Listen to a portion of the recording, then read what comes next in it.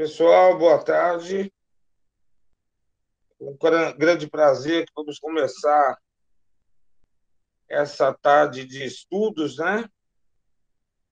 Então, hoje nós teremos a apresentação do Paulo, tá? O Paulo Vitor Loureiro, tá? Ele vai falar um pouco para vocês sobre o trabalho dele, tá? E daqui para as 16 horas a gente vai poder assistir e eu peço aos amigos que preparem suas perguntas para que a gente possa começar com sucesso, tá? Então, Paulo, está com você a palavra. Então vamos lá, gente. Boa tarde. Eu vou apresentar aqui o meu projeto, né, para o doutorado. Né, eu vou apresentar basicamente a vocês a própria apresentação que eu fiz para a arguição, certo, de seleção do doutorado. Então, ela é um pouquinho longa, apesar de, no momento que nós fizemos a arguição, ela foi bem objetiva, mas eu vou tentar ser o mais breve possível para poder conversar com vocês os pontos mais importantes dessa minha pesquisa. Tá certo? Então, eu vou aqui apresentar aqui minha proposta de projeto. Deixa eu colocar aqui. Vocês conseguem ver? Tá nítido aí para vocês? A fonte está boa? Deixa eu ver aqui. Tá tudo bem? Gente, então assim, a minha proposta de projeto, né, ela começa com esse título, certo? É Covid-19 e a etnocenologia virtual da aprendizagem, né, em ecossistemas educacionais baseados em single board computer. Né? Aqui eu tenho a minha linha, né, e aqui o meu eixo de pesquisa. A proposta desse projeto, né, se cerca em cima de alguns objetivos. Que quais são estes? O objetivo foi definido né, a partir daquelas reuniões que a gente já tinha dentro do grupo né, de pesquisas do laboratório de pesquisas e avaliações métricas né, e cultura digital maker, que é o LabPan, né, CD Maker, onde a gente foi discutindo como seriam as performances juvenis atuais dentro desse contexto de pandemia, observando elas sob o viés né, da etnocenologia tratando isso como uma visão virtual da aprendizagem contemporânea. Então, ela veio a casar a etnocenologia com as tecnologias digitais da informação e comunicação. O que a gente pretende no meu projeto é exatamente trazer uma nova visão, é tanto epistemológica quanto metodológica, que é a etnocenologia, para a área de estudo né, da aplicação das tecnologias digitais da informação e comunicação. Então, o meu objeto de estudo gira em torno desse ecossistema aqui que eu vou mostrar aqui para vocês. Seriam ecossistemas educacionais desenvolvidos em cima de tecnologia single board computer, com um pano de fundo né, seno, é, cenológico, né, de um isolamento social decorrente né, da disseminação do coronavírus, né, do Covid-19, então nesse período que a gente está de pandemia, e analisando principalmente como se dá essa aprendizagem virtual, o uso desses dispositivos móveis, né, dentro desse contexto. E a forma como a gente vai analisar isso de forma teórica seria utilizando algumas observações que são feitas dentro da área da etnocenologia, né, que tem uma perspectiva super interdisciplinar, e aí eu vou, no decorrer dos slides, falando um pouco mais sobre a mesma, tá certo? A justificativa desse trabalho, gente, vem da minha própria trajetória né, acadêmica. Eu sou físico, certo, de formação, por que, que eu caminhei para esse lado né, da cultura digital, né? Então, assim, desde a minha formação né, em licenciatura em física na UFC, eu tive já um, um período muito bom de extensão e também como voluntário lá na Seara da Ciência, onde a gente desenvolvia já alguns projetos na época como bolsista de extensão na área de cultura digital. Então, lá dentro da Seara da Ciência, já isso por volta de 2005 a 2009, eu já desenvolvia lá cursos onde a gente ensinava física para alunos do ensino médio, né, utilizando simuladores, a gente usava muito PET, né, usava muito é, simuladores que utilizavam linguagem Flash, a gente utilizava muitos simuladores é, que tinham, por exemplo, muito o uso mais comum né, era para ensinar conteúdos da área de cinemática, de eletricidade. Então, lá naquele começo, eu tive o contato com o uso dessas tecnologias na educação. Né? E também tive um pouco de contato com robótica. Nessa época, a Seara da Ciência até adquiriu alguns kits Lego que eu acabei tendo contato, não tive muito tempo, foi de desenvolver algo mais profundo em termos de pesquisa.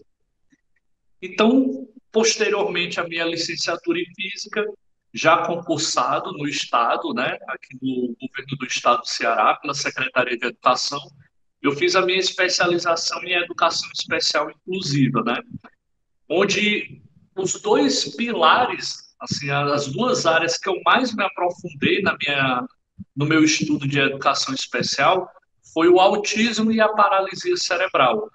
Na nossa formação em educação especial inclusiva, a gente estuda, claro, todos os públicos da educação especial, que são quem, né? Deficientes físicos, visuais, auditivos, intelectuais, pessoas autistas, pessoas superdotadas ou autohabilidosas.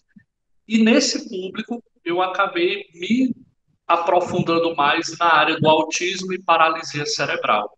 Uma curiosidade, quando eu entrei no estado, né, eu passei um ano em sala de aula, e aí após fazer a minha licenciatura em física, após fazer a minha especialização em educação especial, inclusive eu fui para um núcleo onde eu passei a, a atender, né, lá, que é uma modalidade, é um serviço diferente, né, do de ser professor da disciplina de física, eu passei a fazer o atendimento educacional especializado do público-alvo da educação especial, mas principalmente superdotados.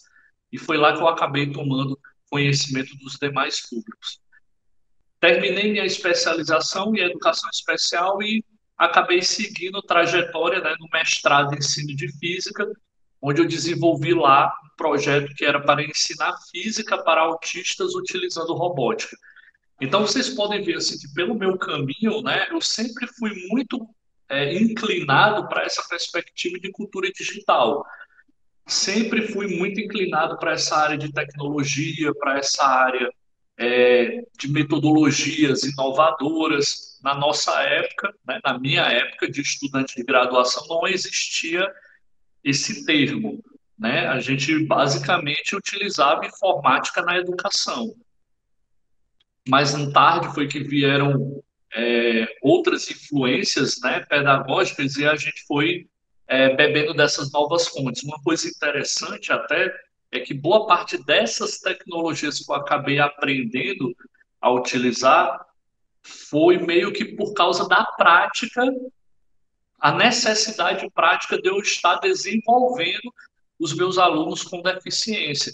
Então eu ficava muito é, eu me sentia, em muitos momentos, é, limitado por ter somente as metodologias, o conhecimento pedagógico, e eu não tinha os recursos.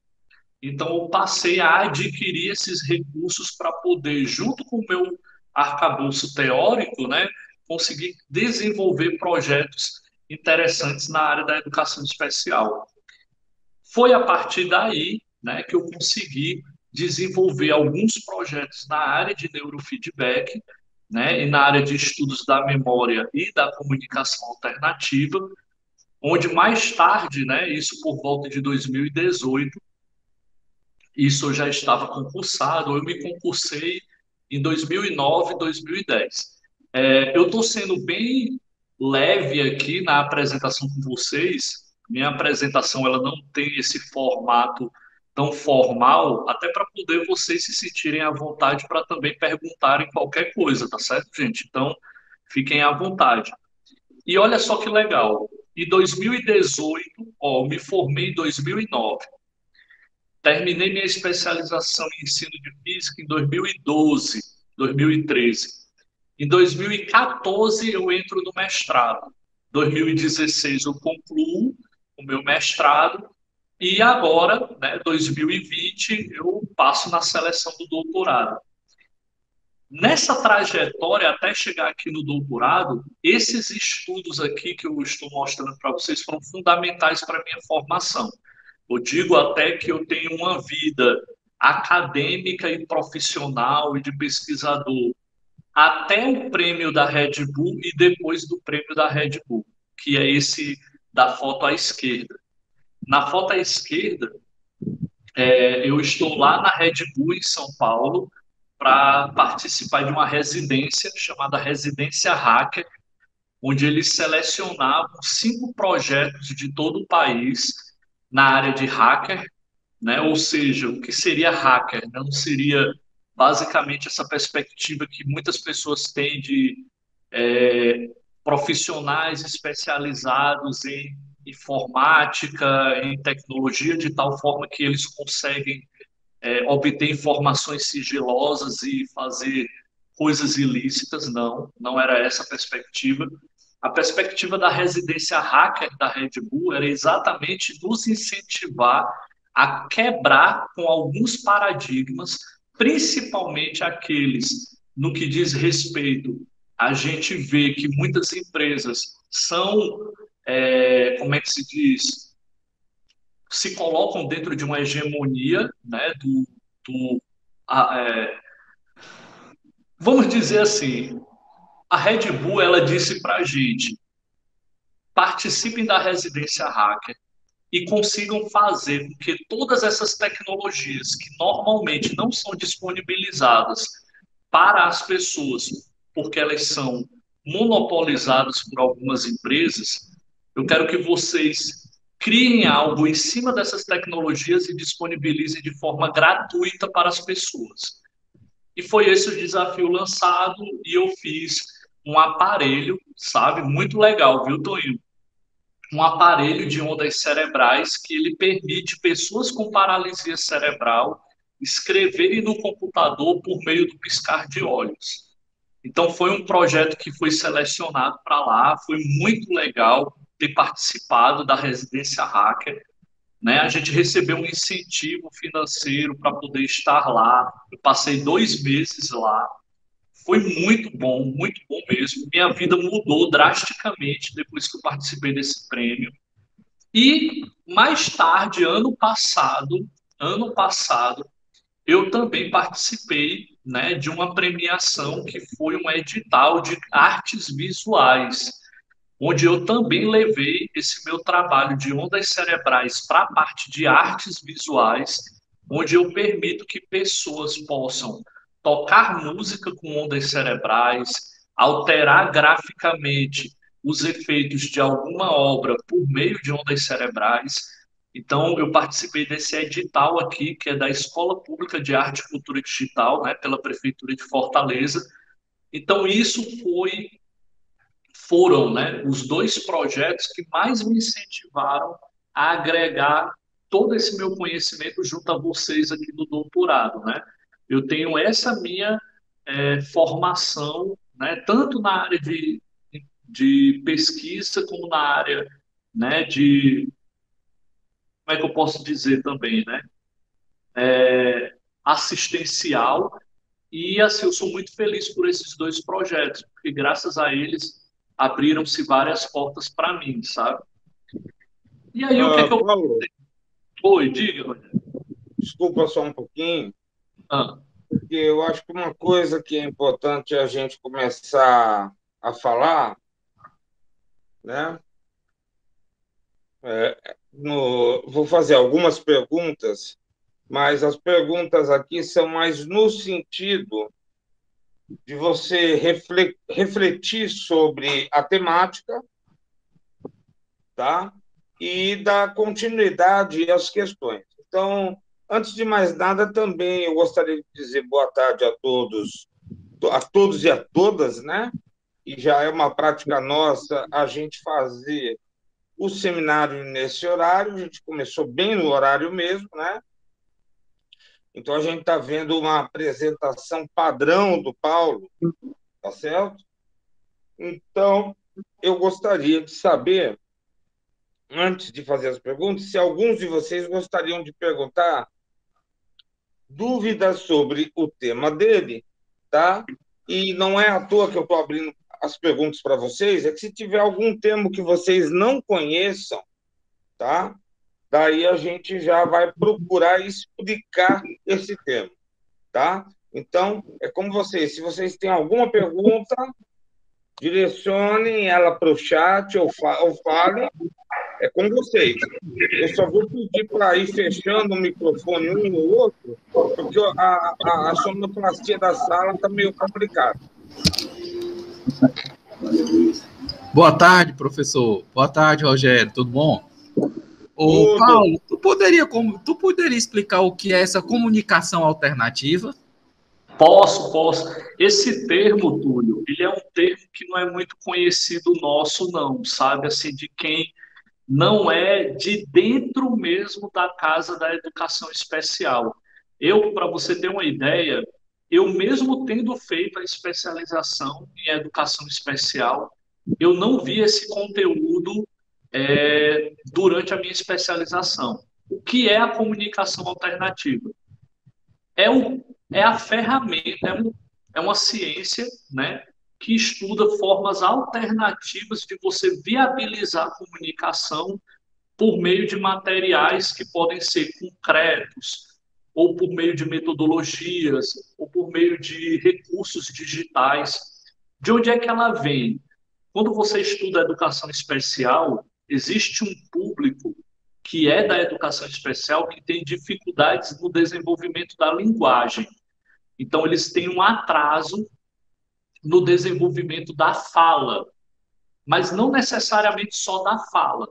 Por exemplo, é, crianças com síndrome de Down, elas têm uma dificuldade, né, um atraso no desenvolvimento da fala, às vezes ocasionado pela questão da língua, que ela é um pouco flácida, tem uma hipotonia.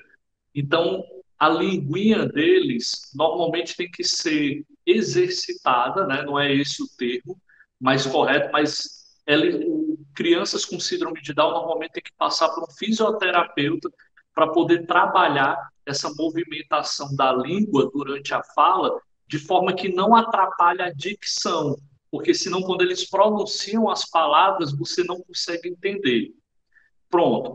Isso é uma das perspectivas. Outra, alunos autistas. Alunos autistas também têm, às vezes, a necessidade de uma comunicação alternativa, porque alguns autistas não falam. Eles não falam. Eles não desenvolvem a linguagem verbal. Outros pessoas com paralisia cerebral, que nesse caso também não permitem que a pessoa fale. E aí vem uma coisa super interessante, sabe, sabe, Túlio? A comunicação, pelo que eu estudei nessa perspectiva da comunicação alternativa, é um dos caminhos principais para o desenvolvimento cognitivo desse público. Olha só que interessante. Eu tenho aqui dois livros de literatura acadêmica, né? Um de uma médica do Sara e outro de outra médica do Sara. Né? O Sara, gente, é uma rede de hospitais que trabalha principalmente com a parte de reabilitação né, neuromotora, e eles são os hospitais de maior referência nessa área. Olha só que interessante, nesses dois livros eles falam o quanto que é importante a o desenvolvimento da comunicação para estes públicos, porque leva ao desenvolvimento cognitivo, e até elas se referenciam em Piaget e Vygotsky para poder defender isso. E aí o que é que acontece? Na área da comunicação alternativa que eu busquei, sabe, Túlio? Eu utilizei um aparelho de ondas cerebrais para poder captar por meio dele o piscar de olhos de uma criança que eu atendia que tem paralisia cerebral. Então ela não conseguia se comunicar comigo nem pela fala, nem pelo movimento dos olhos para esquerda, direita, cima, baixo, né? E nem também pela parte motora, ela não conseguia apontar ou indicar opções de resposta facilmente com as mãos. Então eu percebi que ela tinha um controle maior do movimento dos olhos, mas ao piscar. Então a gente até fazia algumas é, atividades onde ela piscando uma vez era sim, piscando duas vezes era não. Então, isso aí, Túlio, já entra dentro da área da comunicação alternativa. É uma comunicação alternativa.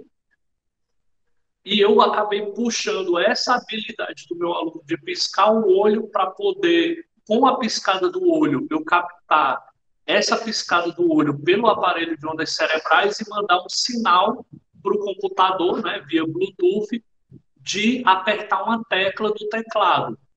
Então, quando ele piscava o olho, era como se ele clicasse uma tecla do teclado. E aí, essa tecla do teclado é que escrevia a letra lá no, no monitor, né, na, na tela do computador. Então, essa é a área da comunicação alternativa. É uma área muito, muito, muito interessante. Por exemplo, uma outra área da comunicação alternativa que eu uso é o de rastreamento de olhos, né, que a gente chama de mouse ocular. Então, eu uso muito tecnologia de mouse ocular para pessoas com paralisia cerebral conseguirem escrever no computador com o movimento dos olhos. Mas aí já é diferente. Elas movem o mouse do computador com o olho. Então, elas apontam as opções que elas querem né, se comunicar conosco. Então, é muito interessante, sabe? Espero que, que tenha conseguido dar os exemplos e explicar, viu, Túlio? Mas pode então, assim, ou seja, essa comunicação alternativa é uma comunicação bidirecionada, né? Ela é direcionada para o que você, para o interesse. Foi isso Sim. que eu entendi. Não sei se eu entendi correto. Para o interesse, é, ou para o mouse, ou para o teclado, ela é direcionada. Né? Isso, é, pode-se dizer que sim. Uhum, Poderia entendi. também falar um pouco sobre o neurofeedback, já que o Túlio ele começou a questão da comunicação, falar um pouquinho do neurofeedback e como e a importância do neurofeedback no seu trabalho? Pois é, essa área do neurofeedback eu não realmente me aprofundei tanto no desenvolvimento dessas tecnologias, né?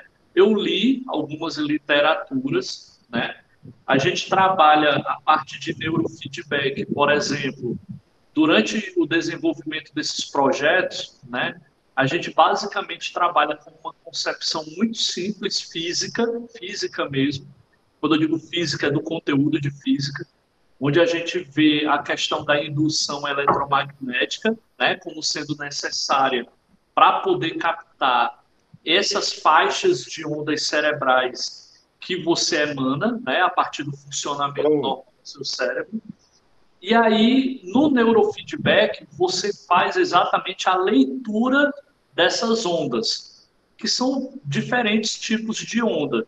No caso, no, no, no, caso né, desses projetos, Rogério, o que eu mais captava na realidade, eram basicamente o piscar de olho, né, que estava relacionado a ondas cerebrais geradas pelo lobo frontal.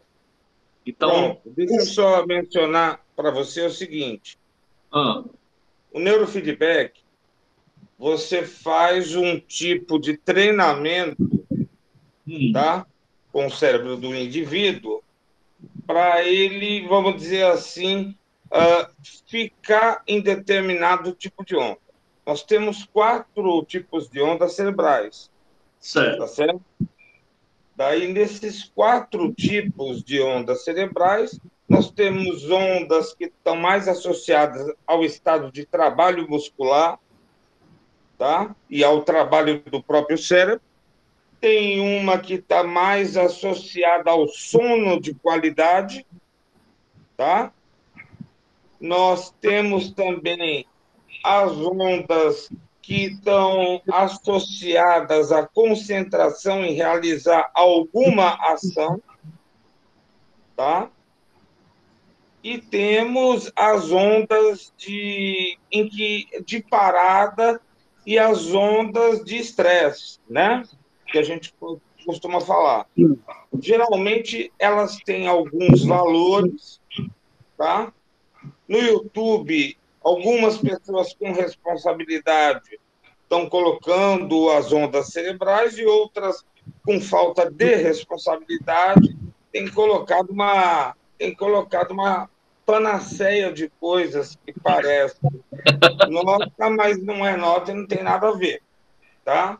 Mas, basicamente, quando eu perdi, esses anos atrás, quando eu tomei os tiros, quando eu fui aí perto, e perdi um pouco da movimentação do braço, da mão, e perdi um pouco de controle muscular, então a recuperação que eu tive da movimentação se deve ao treinamento pelas ondas com o neurofeedback, tá certo? Existem tabelas práticas conhecidas desde o início do século XX. É uma área conhecida e muita gente puxa para psicologia, tá certo? Puxa para a questão da psicologia, tá? Existe uma perspectiva educacional do neurofeedback, mas a gente tem que ter consciência que certas práticas com neurofeedback e com fisioterapia uh, que ser desenvolvidos com um profissional da saúde, tá? Então eu trabalho com o Fleury, o Paulo conhece o Fleury, tá? O Fleury trabalha com memória. Memória que eu estou falando aqui não é memória no sentido cultural, tá? é a memória do sentido de como eu faço uma memória de, lá, de, de, de curto impacto se transformar numa memória de alto impacto. Tá? E tem vários fatores também que se percebe que se consegue trabalhar com o neurofeedback nessa perspectiva.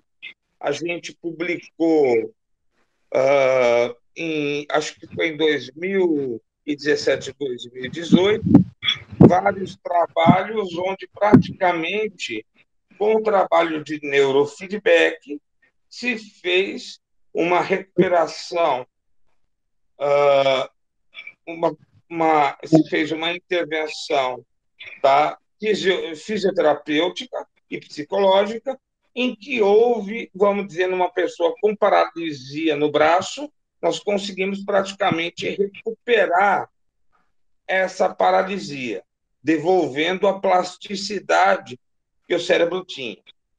Tá? Mas isso em função do treinamento motor cognitivo.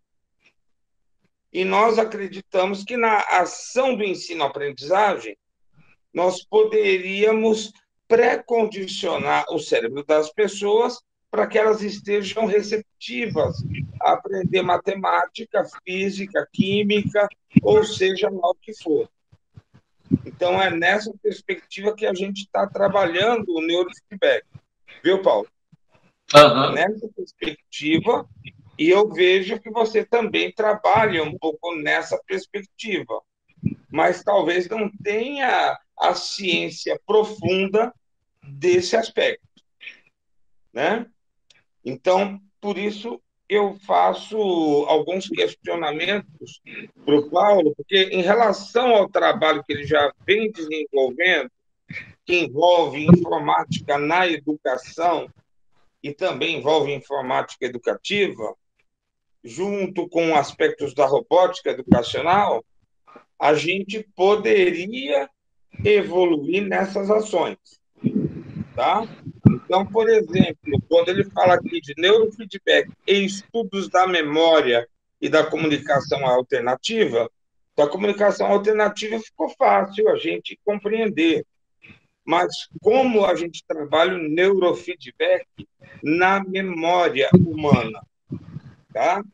E aí, veja só, a gente está vendo memória aqui dentro de uma perspectiva médica, como Bergson viu no começo do século XX. Tá certo? Não é só a memória do ponto de vista cultural, que memória tem a sua implicação cultural e tem a sua implicação biogenética. É dentro dessa perspectiva da integração biogenética que nos interessa a questão da memória, mas muitas vezes fazendo interseções com diversos fenômenos culturais, tá?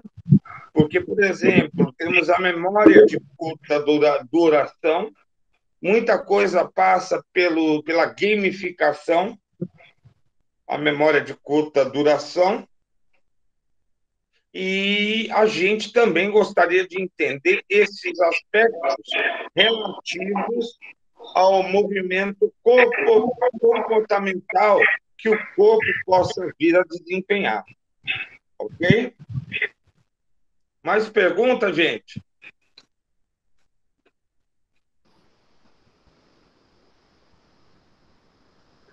Então, Paulo, pode continuar. Deixa, só uma pergunta, Rogério. Já que o povo não tem coragem de perguntar, eu vou perguntar. Me diga okay. uma coisa, tanto Rogério como Paulo, né? É, quando eu fui fazer minha seleção para o mestrado, uma das minhas intenções era trabalhar com neurofeedback na educação. Eu andei vendo alguma literatura.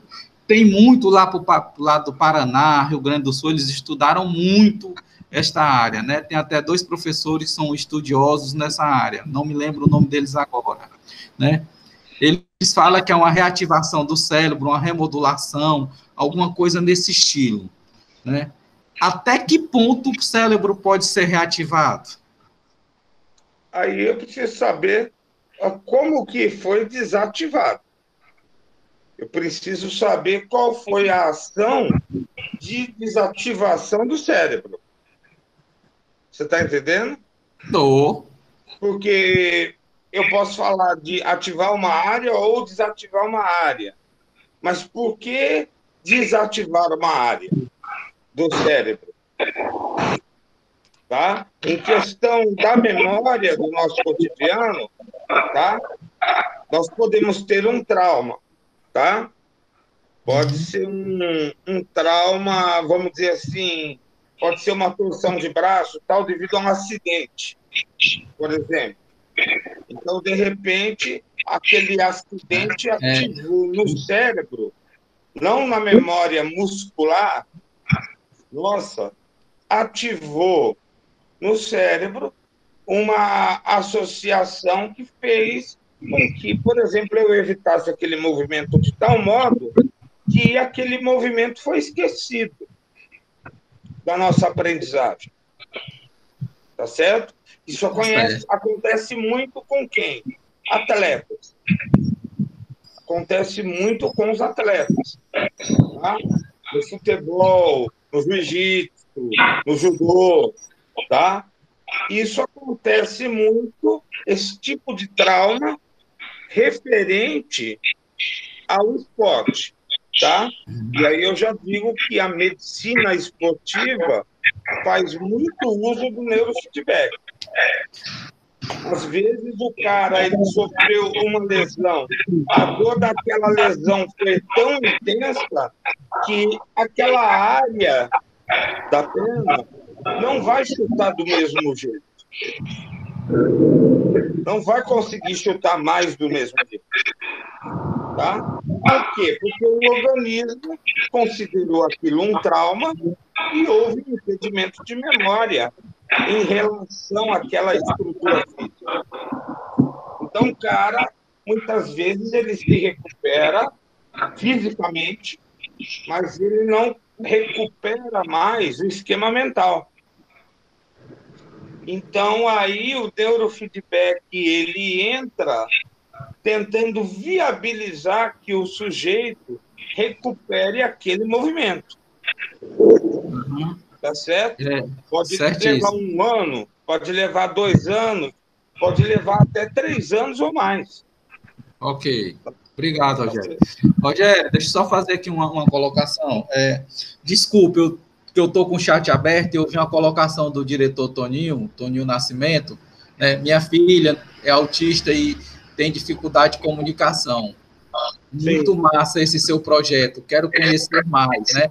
É, Toninho, tem um, tem um projeto que não chega a ser igual a esse, mas chega quase parecido. É uma fonoaudióloga, doutora Renata Cardoso. Você procura no Google, ela já trabalha com isso também e pode associar os dois trabalhos, viu, Paulo? Você poderia procurar ela também. Ela é fonoaudióloga e trabalha com a comunicação através do neurofeedback.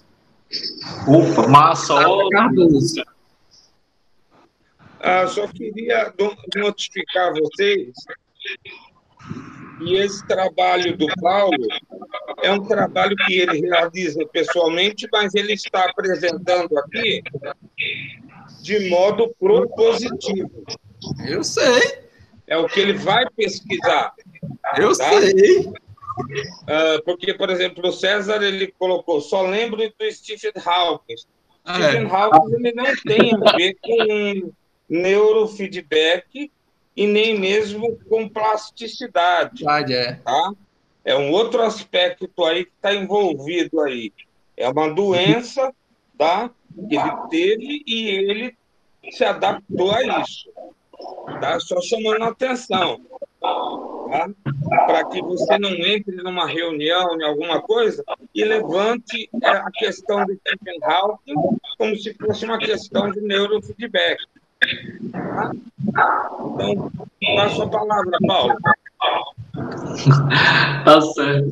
E é muito legal, né? Essa área é super interessante, sabe?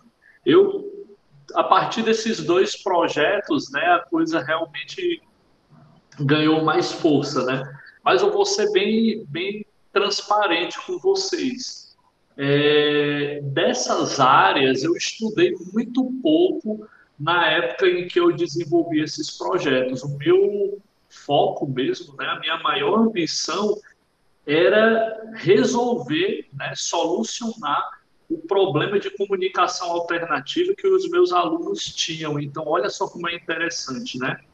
Dessas áreas eu estudei muito menos do que o que eu tive que estudar de eletrônica, de é, sistemas embarcados, né? Então foi muito legal porque assim eu fui pegando sistemas e estudando placas de circuito e estudando formas de comunicação, estudando Arduino, estudando Raspberry Pi, e a coisa foi caminhando e consegui chegar a desenvolver esses dois projetos, né? Depois que eu consegui, né, realmente fazer com que meus alunos se comunicassem com essa perspectiva, né, com essa tecnologia, aí foi que eu fui atrás do é, do conteúdo teórico, né, que cerca o tema. Então, é, uma, é, pra, é interessante você ver isso, porque você vê a metodologia científica né, sendo empregada de formas diferentes. Né? Normalmente, você analisa né, todo o corpo de todo o estado de conhecimento, todo o estado de arte de um tema, para você depois ir né, sintetizando e chegando até a, a, solução do seu problema. E no meu caso aqui foi o contrário, sabe? Então é, é bem legal isso, né? Então, gente, isso aqui foi mais para falar, né, no, no, momento da minha seleção do doutorado, da minha justificativa para eu chegar a essa área, né, de cultura digital e também dessa área de arte e etnocenologia, porque eu não sei se vocês perceberam, nesse edital aqui que eu fiz pessoas tocarem música com ondas cerebrais, né, fazerem intervenções é, visuais, né, por meio de ondas cerebrais, esse edital ele é de arte. Olha só, ele é da Escola Pública de Arte e Cultura Digital. Então foi aqui nesse cenário que eu acabei tendo contato com perspectivas de estudo, né, tanto metodológico quanto epistemológico da área das artes. E é daí que veio, né, o meu casamento, né, junto à área da etnocenologia. Então, caminhando mais, né, o projeto foi se fechando, né, e saindo, né, aquele formato já muito bem sólido, que era o quê? A gente trabalhar com a perspectiva da cultura digital dentro de um contexto de pandemia, analisando ambiências virtuais de interação, né, levando, claro, em conta que hoje a cultura maker, né, que foi originária lá atrás, né, com os movimentos do faça você mesmo, né, do it yourself, né, e você hoje tem também essa galera que busca desenvolver tecnologia, não necessariamente sendo grandes pesquisadores, grandes é, donos né, de propriedades industriais, mas que conseguem hoje, com, por meio do seu conhecimento, desenvolver tecnologia, né, manufaturar artesanalmente, né, uma artesania ciber, cibernética, né, individualmente.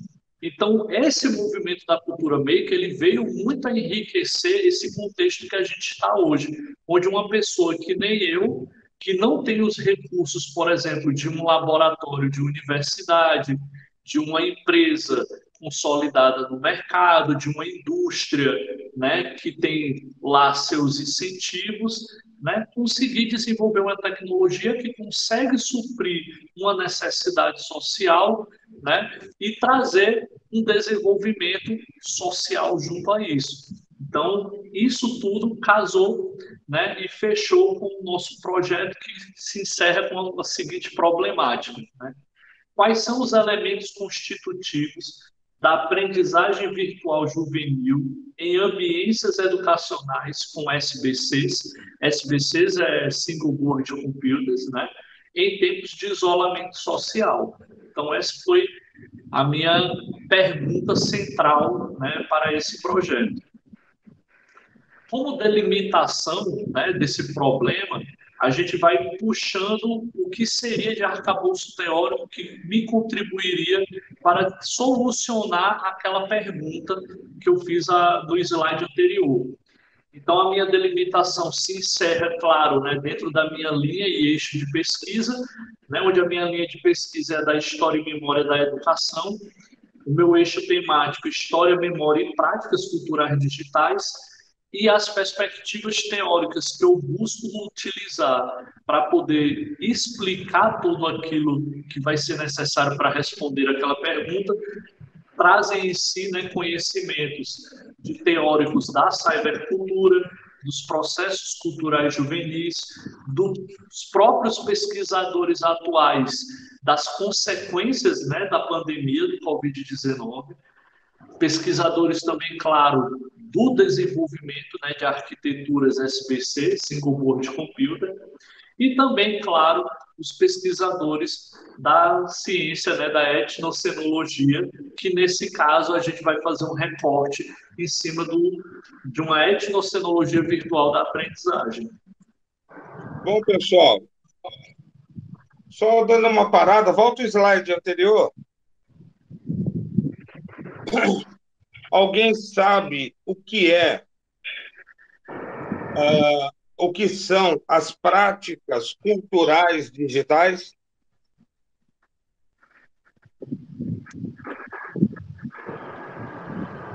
Sem ser o Paulo. Paulo pode até desligar o áudio e descansar um pouquinho. Tá. tá? Mas vocês, meninos, Fredson, Toinho, Túlio, né? Professor, eu não sei não, eu queria até, eu não sei, eu queria até, não sei se ele vai falar mais à frente, esse termo aí do etnos, etnocenografia, cenologia. Tudo bem, eu posso, eu posso também falar disso daqui a pouco, mas uh, o que, que são práticas culturais digitais? Rogério, é, no, meu, no, meu, no meu entender, né, pelo menos até parte das ferramentas que eu andei pesquisando, que eu andei lendo, né?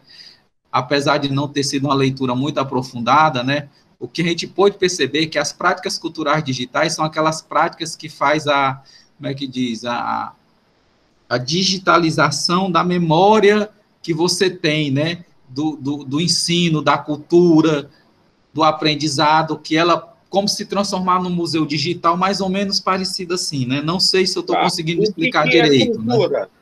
Né? O que, que é a cultura? cultura a cultura é tudo aquilo que você já passou, ou de um povo, né? A cultura de um povo. O que é a cultura de um povo? É aquilo que ele traz desde quando ele se conhece, né? Culturalmente, tá. né? A cultura de um ser, a cultura vivenciada, né? Tá. A cultura do ser humano, né? Tem uma, então, tem eu, vou, eu vou dizer o seguinte: tem um psicólogo chamado Cole que estudou Vigorde. Hum ele vai dizer que o ser humano é impregnado de cultura. Então, desde quando você acorda, tá? Você já está no mundo da cultura. Você abriu os da olhos, cultura. Você está no mundo da cultura, tá?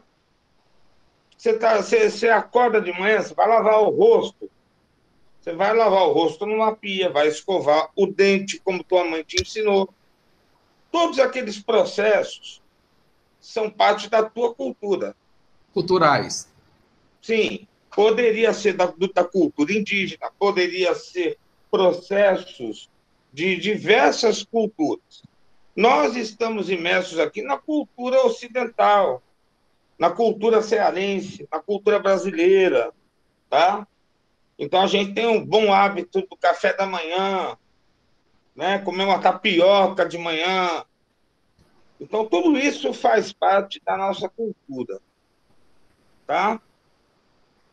Uh, mas quando a gente está falando de cultura digital, tá? A gente está falando daquele cara que vai ver um e-mail, vai ver a notícia no computador, vai ver as coisas. Ele tem também hoje uma vivência na cultura computacional hoje. E essa vivência na cultura digital, dos recursos digitais, ela vai para o imposto de renda, ela vai para você escutar um podcast. Tá? Então, veja bem, hoje nós temos práticas culturais digitais. Mas, além das práticas digitais culturais, você tem as práticas educacionais, tá? Práticas educacionais digitais, tá? Então você vai olhar de repente alguma coisa do curso à distância que você está fazendo, tá? Você vai se preocupar com o link da nossa reunião de segunda-feira. Isso já faz parte da, do nosso educacional cultural, tá? Então, são fenômenos, são fenômenos que têm uma pegada social, que tem uma pegada histórica também, porque nós estamos aqui também construindo a história do país, a história do Brasil, a história do povo brasileiro, tá? Hoje nós temos uma cybercultura, uma cultura cibernética, tá? Aqui se fala no trabalho do Paulo de cultura juvenil digital, tá? Mas eu conheço um cara que dentro do NIME ele estuda a questão da juventude. Foi o meu professor, o Robério. Foi o meu professor que no fim ele acabou se doutorando depois de mim, foi meu aluno também, tá? Ele discute a questão juventude tá? E cultura, tá? E eu acho importante a gente estar tá envolvido e ter uma dimensão disso, porque, por exemplo, o trabalho que os meninos fazem com Cabri Geometry, tá? É um trabalho cultural digital. Vocês estão pegando as práticas educativas digitais de um grupo social que trabalha com GeoGebra, tá? Então, ali a gente está tendo a gente está tendo uma percepção das práticas culturais digitais desse grupo. Entende? Então, isso é uma, uma coisa importante. E aí eu digo para vocês: o que nos reúne nesse momento online? As práticas culturais digitais. Todos nós, mais ou menos, temos uma relação com fenômenos educacionais que envolvem práticas culturais na educação. Todos nós, da Mariane, tá? A, a, a, o Luciano, tá? que são, são da graduação, a você, Túlio, ao Paulo, ao Fredson, tá? ao Toninho, todos nós estamos envolvidos com isso. Tá? Uh, uma outra coisa né, que ele fala, etnocenologia virtual. Então, esse vai ser o meu primeiro trabalho verdadeiramente sobre etnocenologia. Mas a primeira pessoa da FACED da UFC que trabalhou com etnocenologia, não virtual, foi o Gerardo Vasconcelos, professor da graduação, que fez um pós-doutorado na Bahia, em teatro. Pós-doutorado dele foi em teatro, e lá, na Bahia, o pessoal do teatro tá, trabalha com a etnocenologia. E a etnocenologia é o quê? É um estudo do espetáculo. Tá? É um estudo da cultura do espetáculo. Você pode ver um fenômeno social como se ele fosse um espetáculo, ou você pode estudar o espetáculo em si mesmo. No caso, qual era o espetáculo que o Gerardo estava estudando na época? Capoeira e capoeirista. Ele estava estudando um capoeirista chamado Besouro. Tá? Quando ele foi estudar essa pessoa do Besouro, numa perspectiva histórica, ele encontrou 17 ou 18 versões sobre a vida do besouro que o pessoal falava no recôncavo baiano, que era conhecido, mas só que tinha um problema. Ele não tinha encontrado até aquele momento uma pessoa chamada besouro. Bom, até o momento que ele achou a suposta irmã, a suposta irmã deu um outro relato, por conta desse relato, ele foi à Secretaria de Segurança Pública do Recôncavo e achou a certidão de óbito. Quer dizer, ele não achou a certidão de nascença, mas ele achou a certidão de óbito. E através daquela certidão de óbito, ele conseguiu comprovar que o besouro viveu. Tá? Mas olha só que coisa engraçada.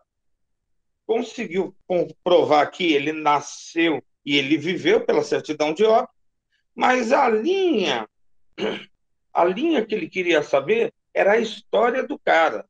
Estava entre o nascimento e a morte. Mas entre o nascimento e a morte, ele achou 17 versões. Ele achou 17 linhas.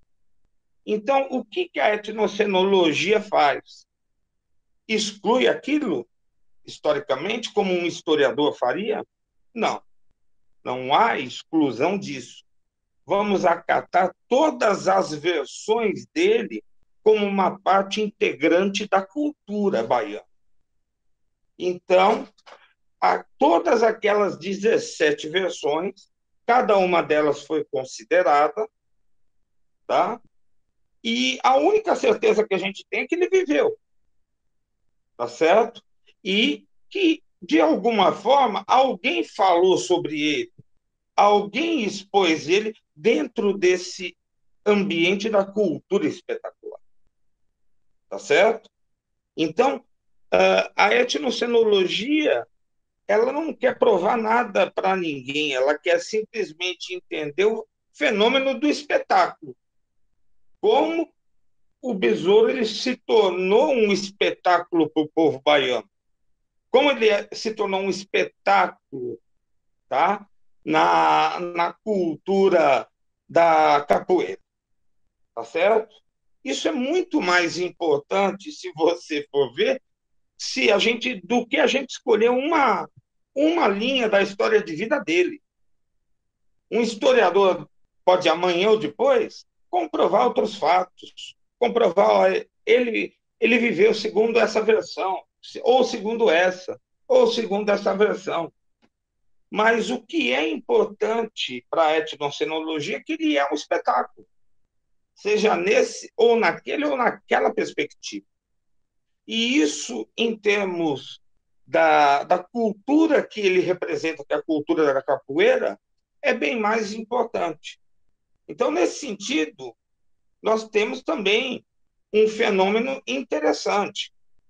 O Paulo ele vai trabalhar a etnocenologia que se constrói entre esses meninos, todos, tá?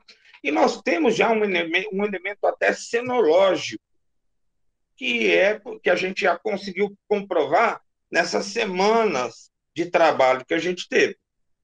O próprio Scratch, ele já é um elemento etnocenológico, tá? que transforma o estado da ideia de programação em um estado de construção etnocenológica.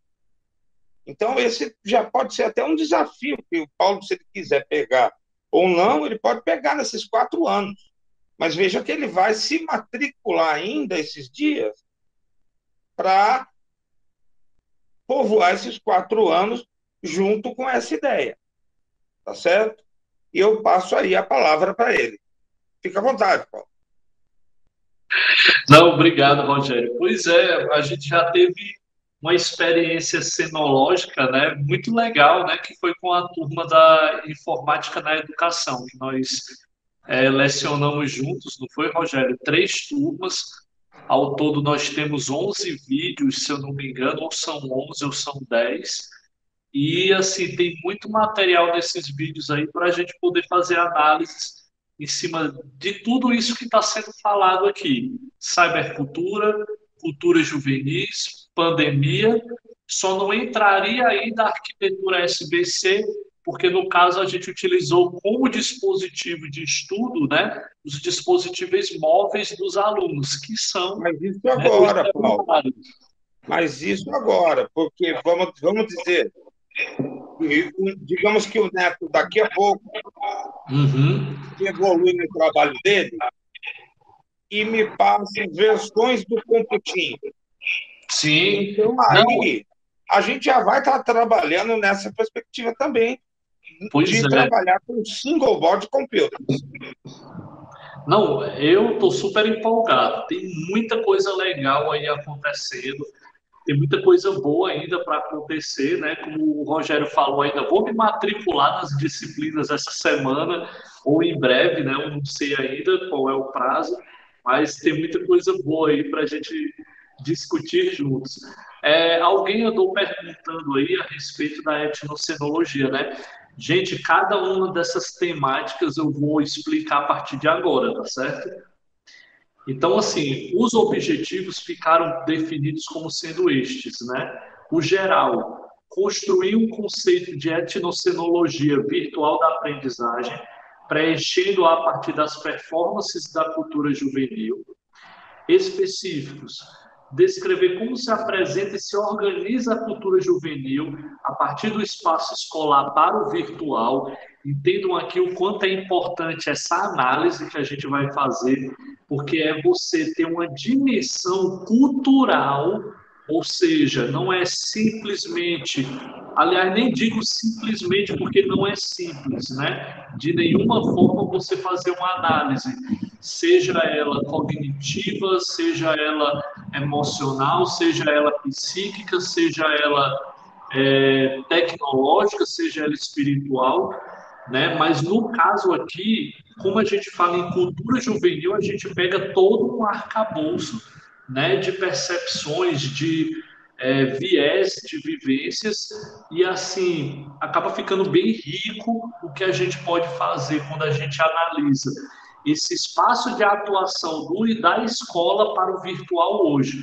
Né? Só para vocês terem um gostinho aí, né, Rogério? A gente tem coletado algumas coisas já com os alunos durante essas vivências na disciplina de informática na educação.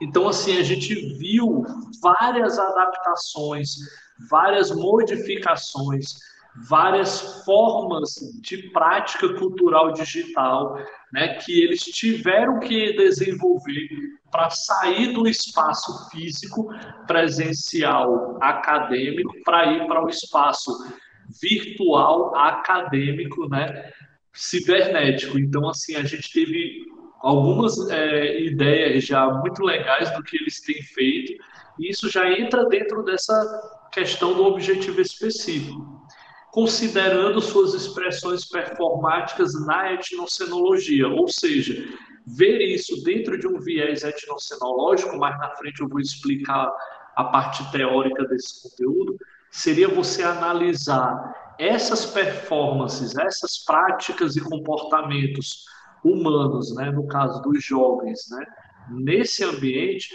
em todas as suas facetas, física, psíquica, emocional, espiritual, econômica, social, é tudo, sabe?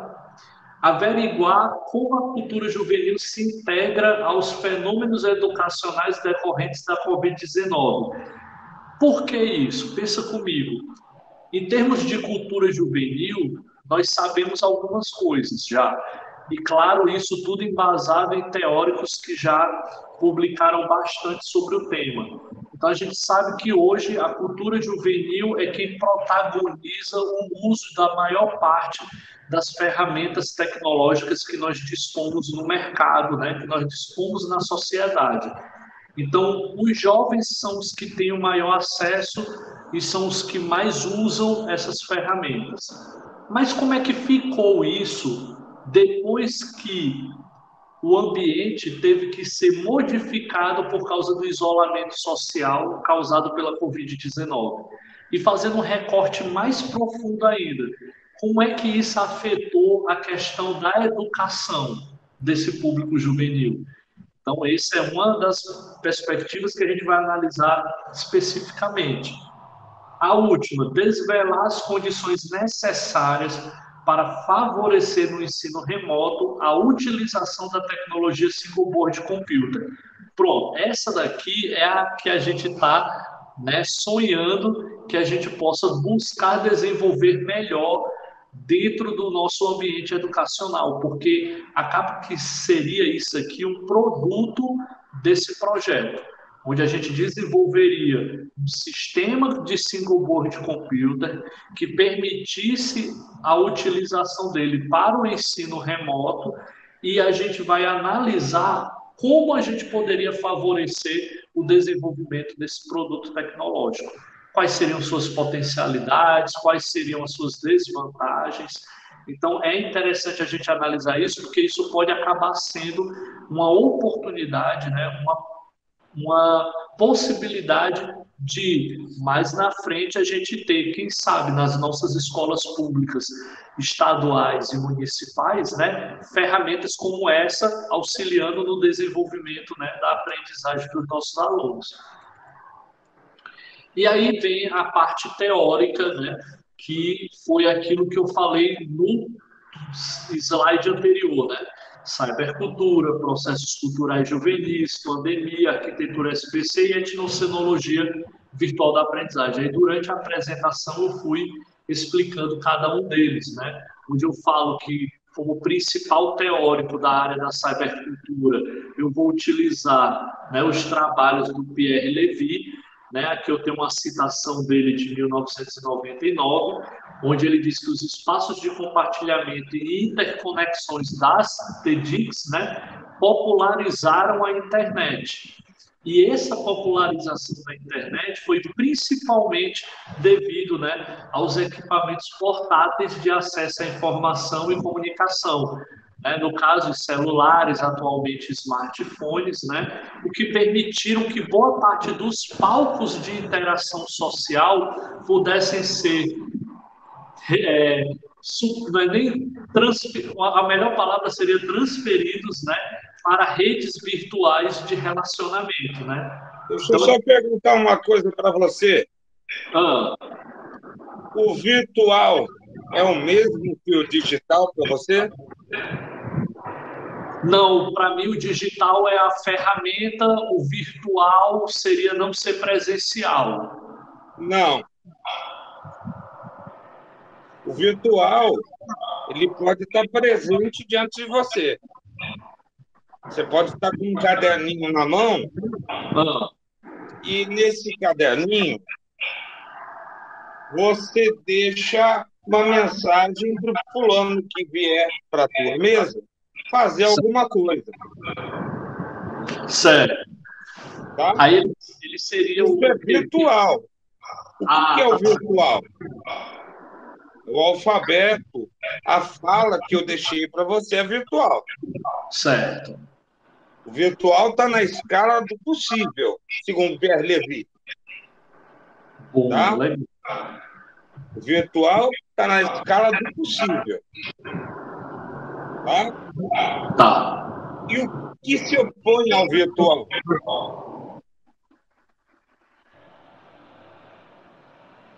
Não saberia dizer agora. Pro, o virtual, ele não se opõe à realidade. O virtual, ele se opõe à atualidade. Certo. Tá certo? O, o virtual. Por que, Rogério? Ele, ele, vamos dizer, acontece em qualquer momento. Você está lá na cartinha e me deixa os 200 reais que eu emprestei para você, os 200 reais que você vai deixar em cima da mesa, você vai sentir saindo do teu bolso. É virtual para quem escreveu mas os 200 reais vão, você vai sentir falta dele. Assim como numa conta bancária. Se eu tiro os 100 reais da tua conta, você vai sentir isso, não vai? Você vai até brigar por isso. Tá? Ou ainda, a, a namorada de um aluno meu chamado Cleilson. Tá? Se ela deixa de namorar Cleilson, que eu estou mudando o nome também, tá? Aqueles, aquele deixou de namorar se torna um ato real. Ofende sentimentalmente. Mexe com a sua estrutura. Então, o virtual é cada vez mais presente na sociedade enquanto o que virá a ser. Mas acontece que na nossa sociedade a gente cobra uma dívida da pessoa, tá? E essa pessoa já gastou aquele dinheiro duas vezes, tá? Então pense no seguinte, que uma pessoa hoje ela está falando de valores que vão acontecer em 2024, 25, 26. Você faz o financiamento de uma casa para esse período, você compra uma televisão para esse período, tá? Você se planeja para o futuro como se você estivesse vivendo nele. Isso é a virtualização. Tá? É parte da nossa realidade parte da nossa realidade. Parte com os nossos corações, em algumas vezes, parte. Então, veja só. O virtual não se opõe ao real. Essa oposição é a oposição que o jornalismo da Globo imagina entre o virtual e a realidade. Não é uma oposição a realidade. Tá? Quem se opõe à realidade é a atualização. A ideia de nos atualizarmos. Tá certo? Por isso que as coisas vêm com versão e revisão hoje em dia. Tá? E a gente tem que estar atento a isso, porque às vezes a gente está na revisão 2.0 e a revisão que está acontecendo é a revisão 7.2. Tá certo? Então, nós estamos discutindo um assunto bem à frente do seu tempo. Tá? Uma outra coisa que é importante, tá? Você, muito, você poderia, tem muita gente que associa o virtual ao digital. Mas para mim não são as mesmas coisas. Tá? E aí eu já pergunto para você, o que é digital para você? Você sabe me dizer o que é digital? Rogério, depois dessa reflexão, mais não, viu? Eu acho que minha visão.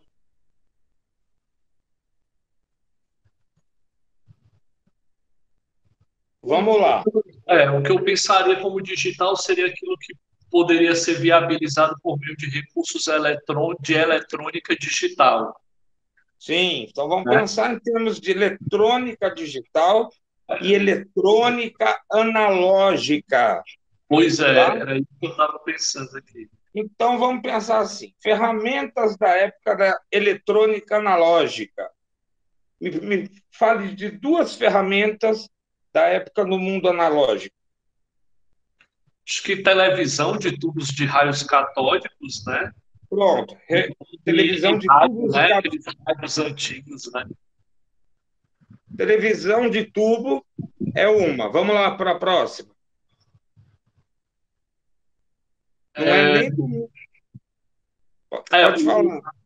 O, o rádio antigo, né? Eu acho Sim. que se for rádio já pelo celular, eu acho que já muda, né? O telefone, o aparelho telefônico, que nas nossas casas tinham há 20 anos atrás. Isso é Aquele... é o mundo analógico. Tá? Isso. O que é o mundo analógico?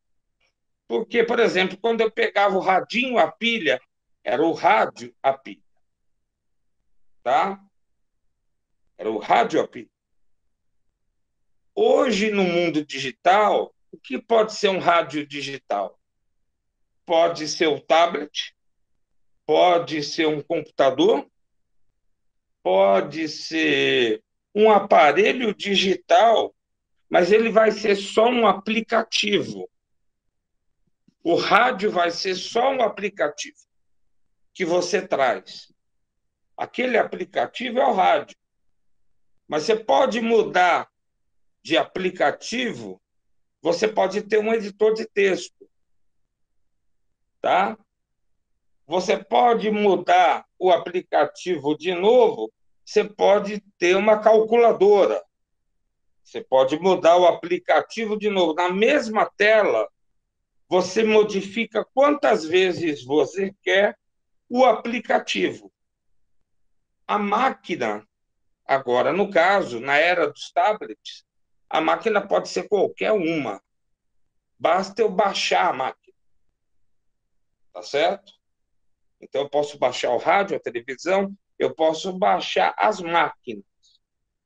Tá? Há 25 anos atrás, isso era impossível. Na cabeça de um adolescente, isso era uma loucura. Como assim? O meu computador eu posso transmitir a TV, posso transmitir a rádio. As pessoas não tinham ideia do poder do digital. O digital hoje, tá? A eletrônica digital é uma eletrônica de baixo consumo de energia elétrica, tá? E que permite transformar o teu dispositivo computacional em qualquer tipo de dispositivo, tá? Inclusive nesse dispositivo de aula no qual nós estamos tá? E a, e a perspectiva do analógico é assim: eu preciso da televisão para ter teleensino, então vamos comprar uma TV. Eu preciso do rádio para ter tele, para ter áudio ensino, então vamos comprar um, um rádio. Isso mudou a perspectiva da educação que nós tínhamos. Então vejam bem, ó, a discussão sobre o digital fala da qualidade do equipamento e as possibilidades que ele te dá. E a perspectiva do virtual fala do tipo de virtualização que você tem. O alfabeto pode ser uma virtualização para as palavras. Pierre Levy vai mostrar isso, tá? A lousa pode ser uma virtualização para expressar ideias, tá? Então são duas coisas aí distintas. O que é virtual é uma coisa e o que é digital é outra coisa. São duas qualidades de assunto que vocês precisam tentar ter na mente de vocês. São qualidades distintas, tá? Quando eu falo de digital, eu estou falando da qualidade do equipamento que eu tenho. Quando eu falo do virtual, eu estou falando da capacidade de virtualização que eu tenho tá? E aí eu posso dizer que para as palavras, o alfabeto é uma excelente virtualização.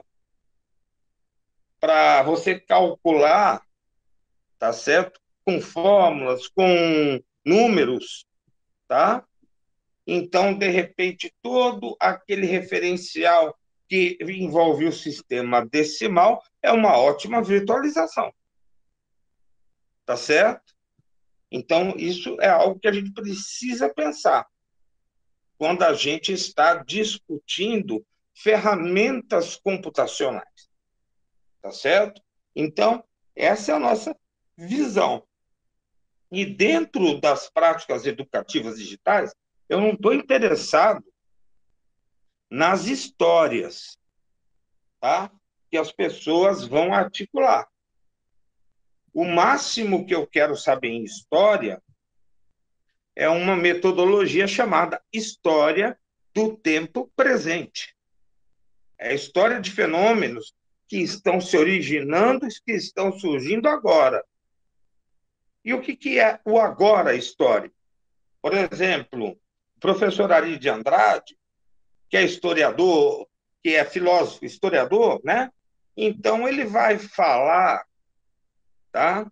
sobre o, o Liceu do Ceará, ele vai falar do Liceu do século XIX como se fosse ontem.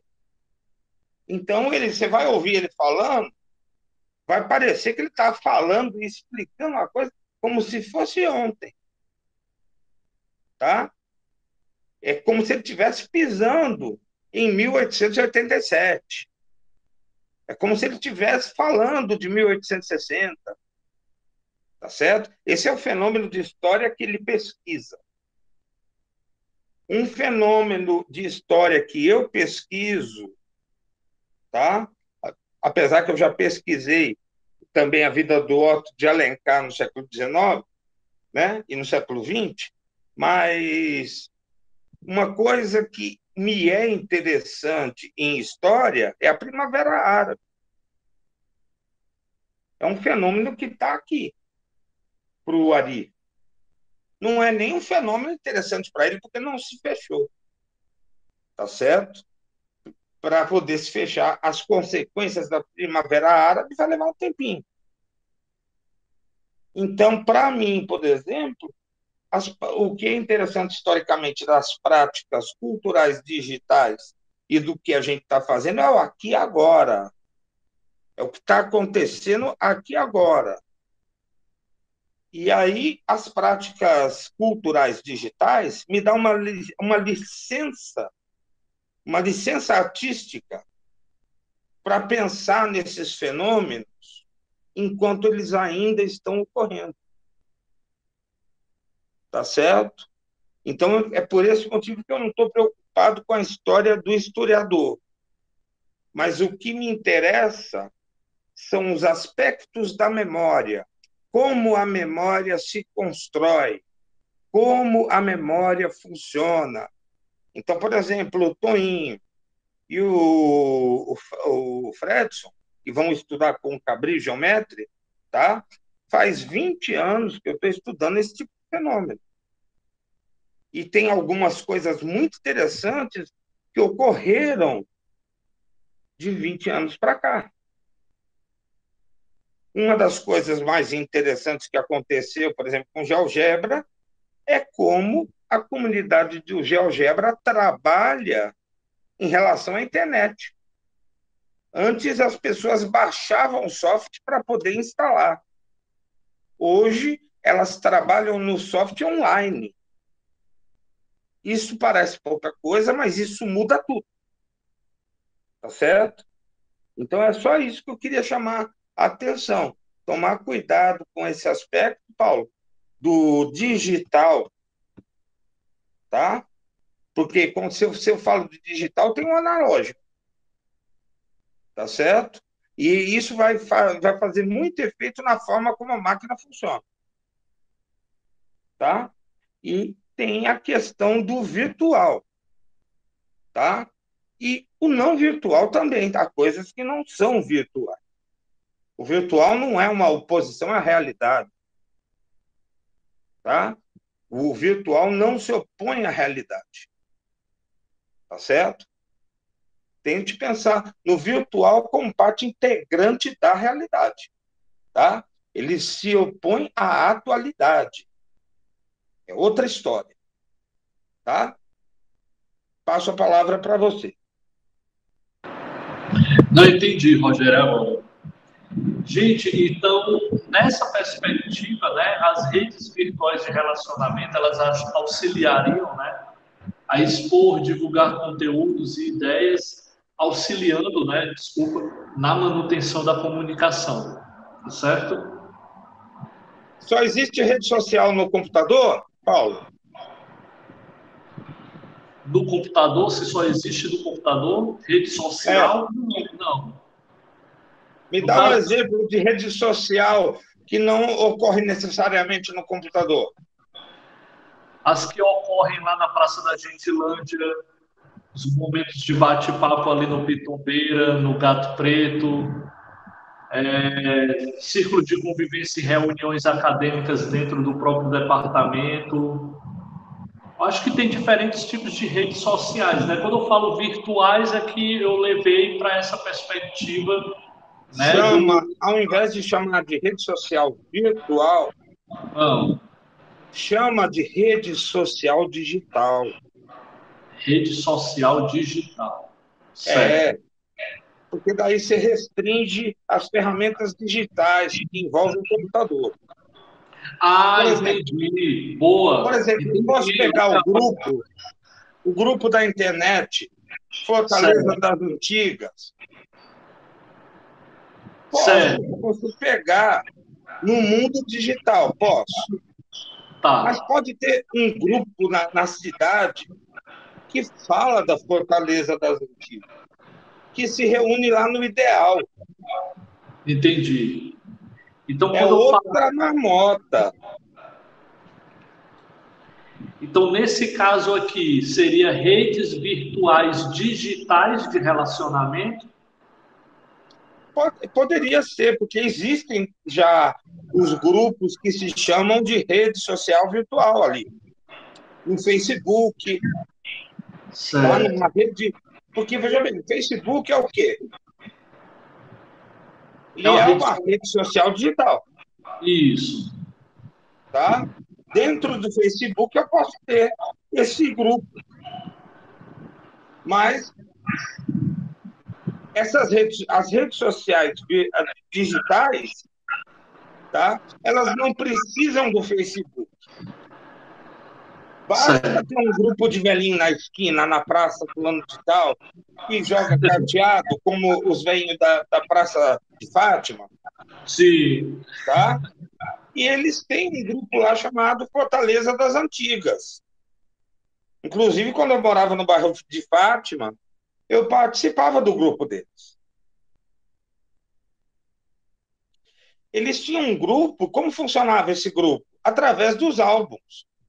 Eles, quando iam jogar o jogo de baralho deles, eles levavam também o mostruário de fotos da cidade. Tá? No qual o, o, o, o senador, o Doa Quem Doer, o Cid Ferreira, ele participava ali. E eu não sei se vocês sabiam que a maior biblioteca do Brasil de pessoa física é do Cid Ferreira. Tá?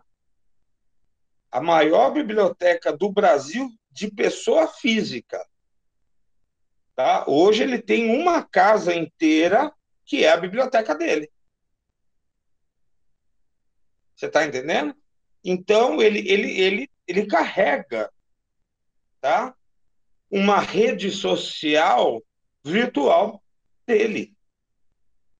Aquela biblioteca pessoal dele é a rede social virtual dele e dos amigos dele.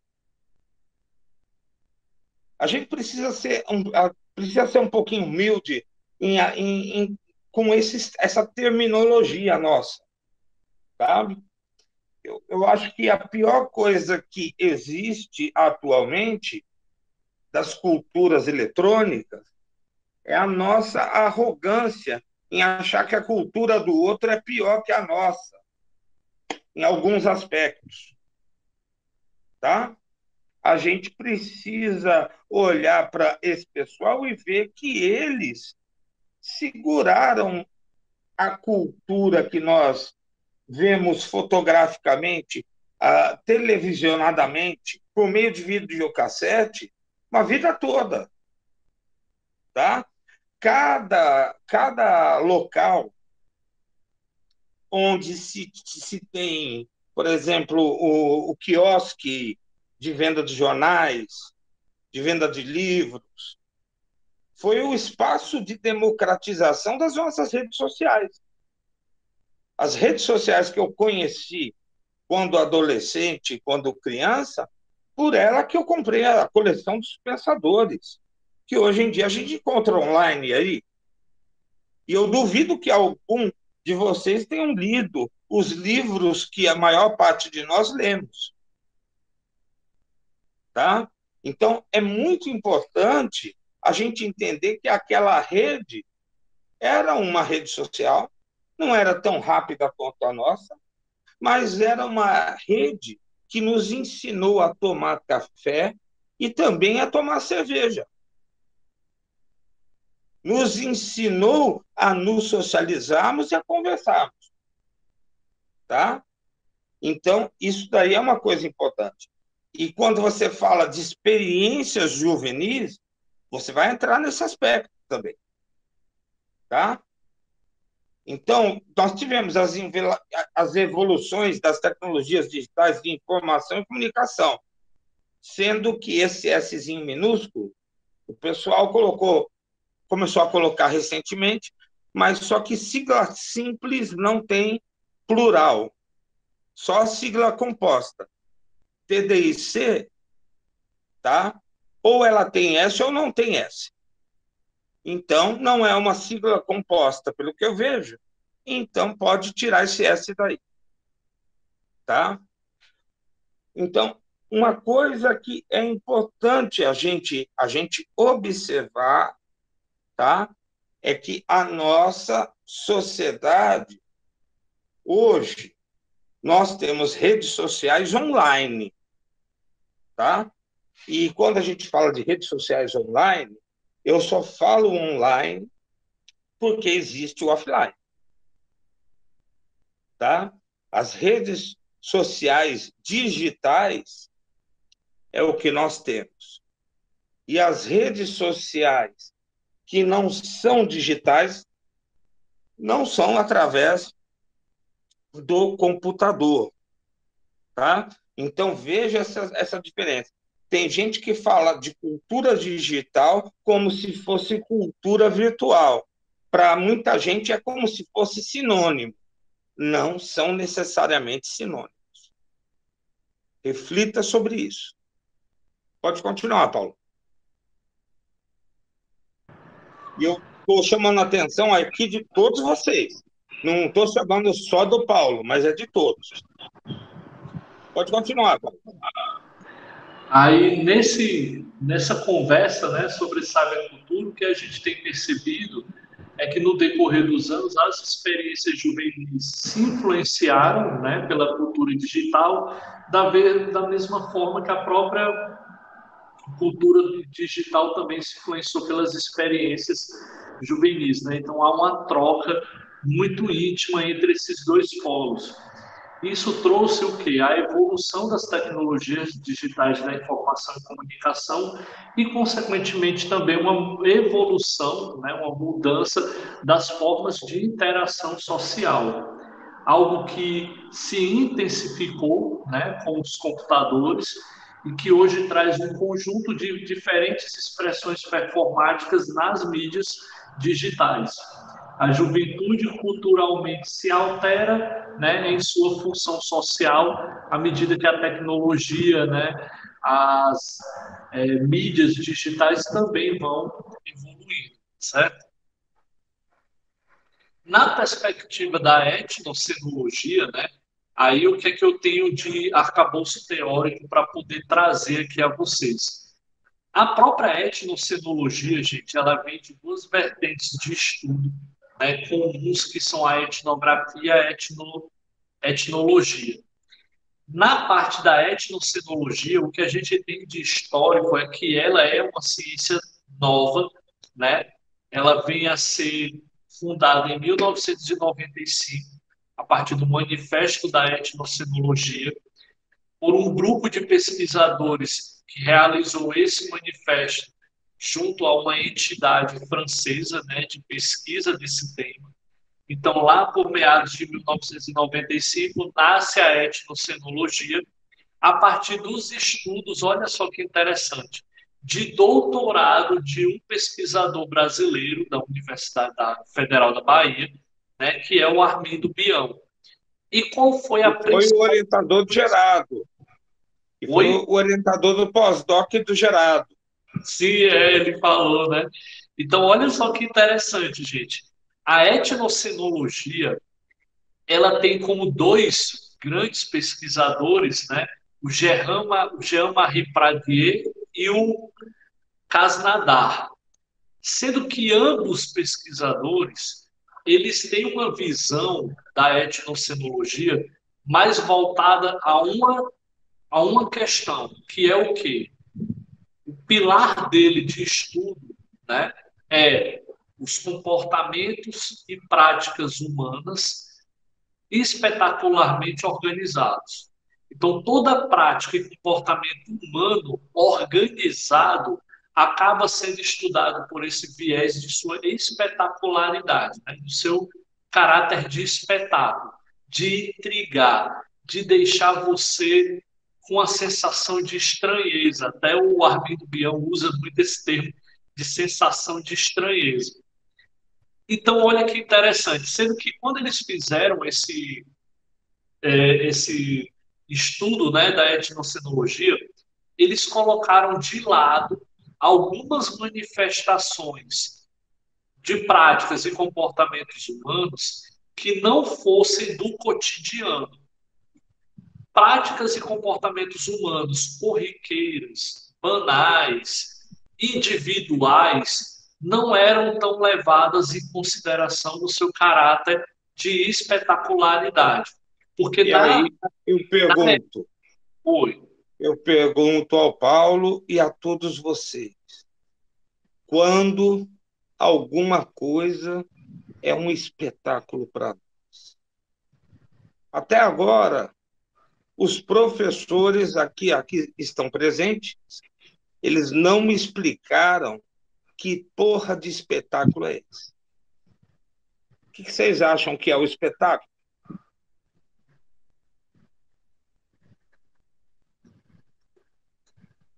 No fim, a pergunta que o Paulo vai fazer: que porra é o espetáculo? Túlio, o que é o espetáculo?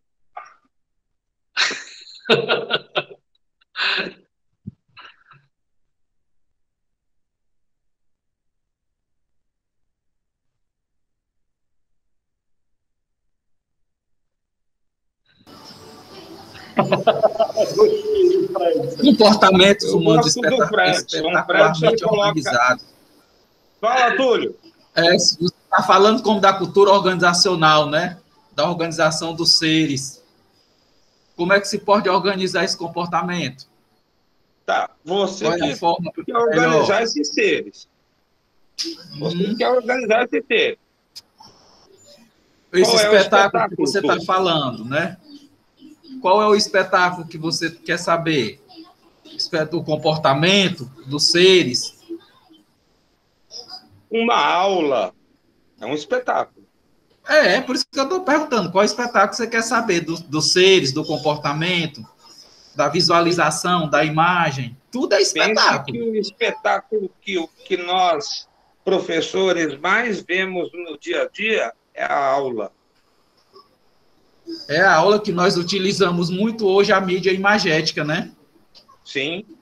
A visualização. Mas veja só, nem o próprio Gerardo, ele sacou muito bem isso. Tá? Ah, o que nós estamos fazendo, Túlio? É um nós espetáculo. Estamos, nessa época agora, tendo que reaprender a dar aula. Tá? Então, estamos tendo que reaprender o significado dessa aula. E como o Fredson diz, o que é esse tal espetáculo? É a aula propriamente dita. É como eu vou falar aquele assunto. É como que eu vou chegar naquele assunto. Tem gente que não tem referencial, pega o referencial dos professores que tem.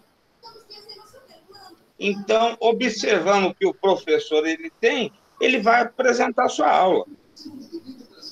Tá? Então, cada aula que nós damos, de alguma forma, é algum espetáculo. No sentido inglês de, do termo sketch. Tá? Então, por exemplo, o sketch, o, o SketchUp, ele pega bem essa ideia tá? Alguém, por acaso, foi escoteiro nos anos 70, 80? Eu fui de grupo escoteiro.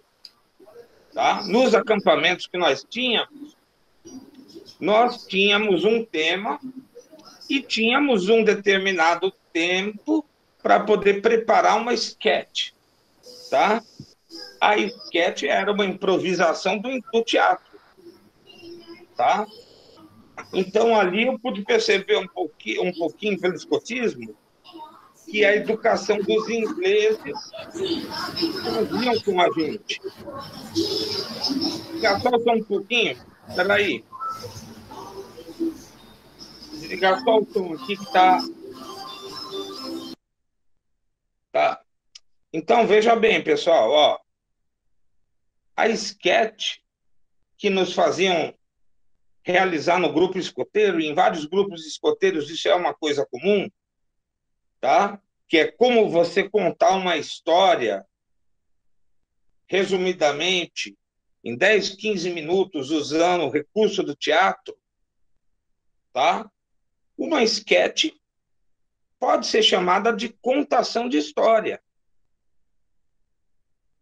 E é disso que eu estava falando com com o Paulo esses dias que a gente trabalhou com os meninos e nós fizemos eles fazer essa sketch. Eles tiveram momentos de protagonismo, momento de realização. Não era saber o que a tecnologia A, B, C, D fazia ou poderia fazer. Era através do protagonismo deles, eles irem desco descobrindo no acerto e nos erros o que eles poderiam fazer. É nesse sentido, viu, Túlio? Pode continuar. Continua aí, Paulo.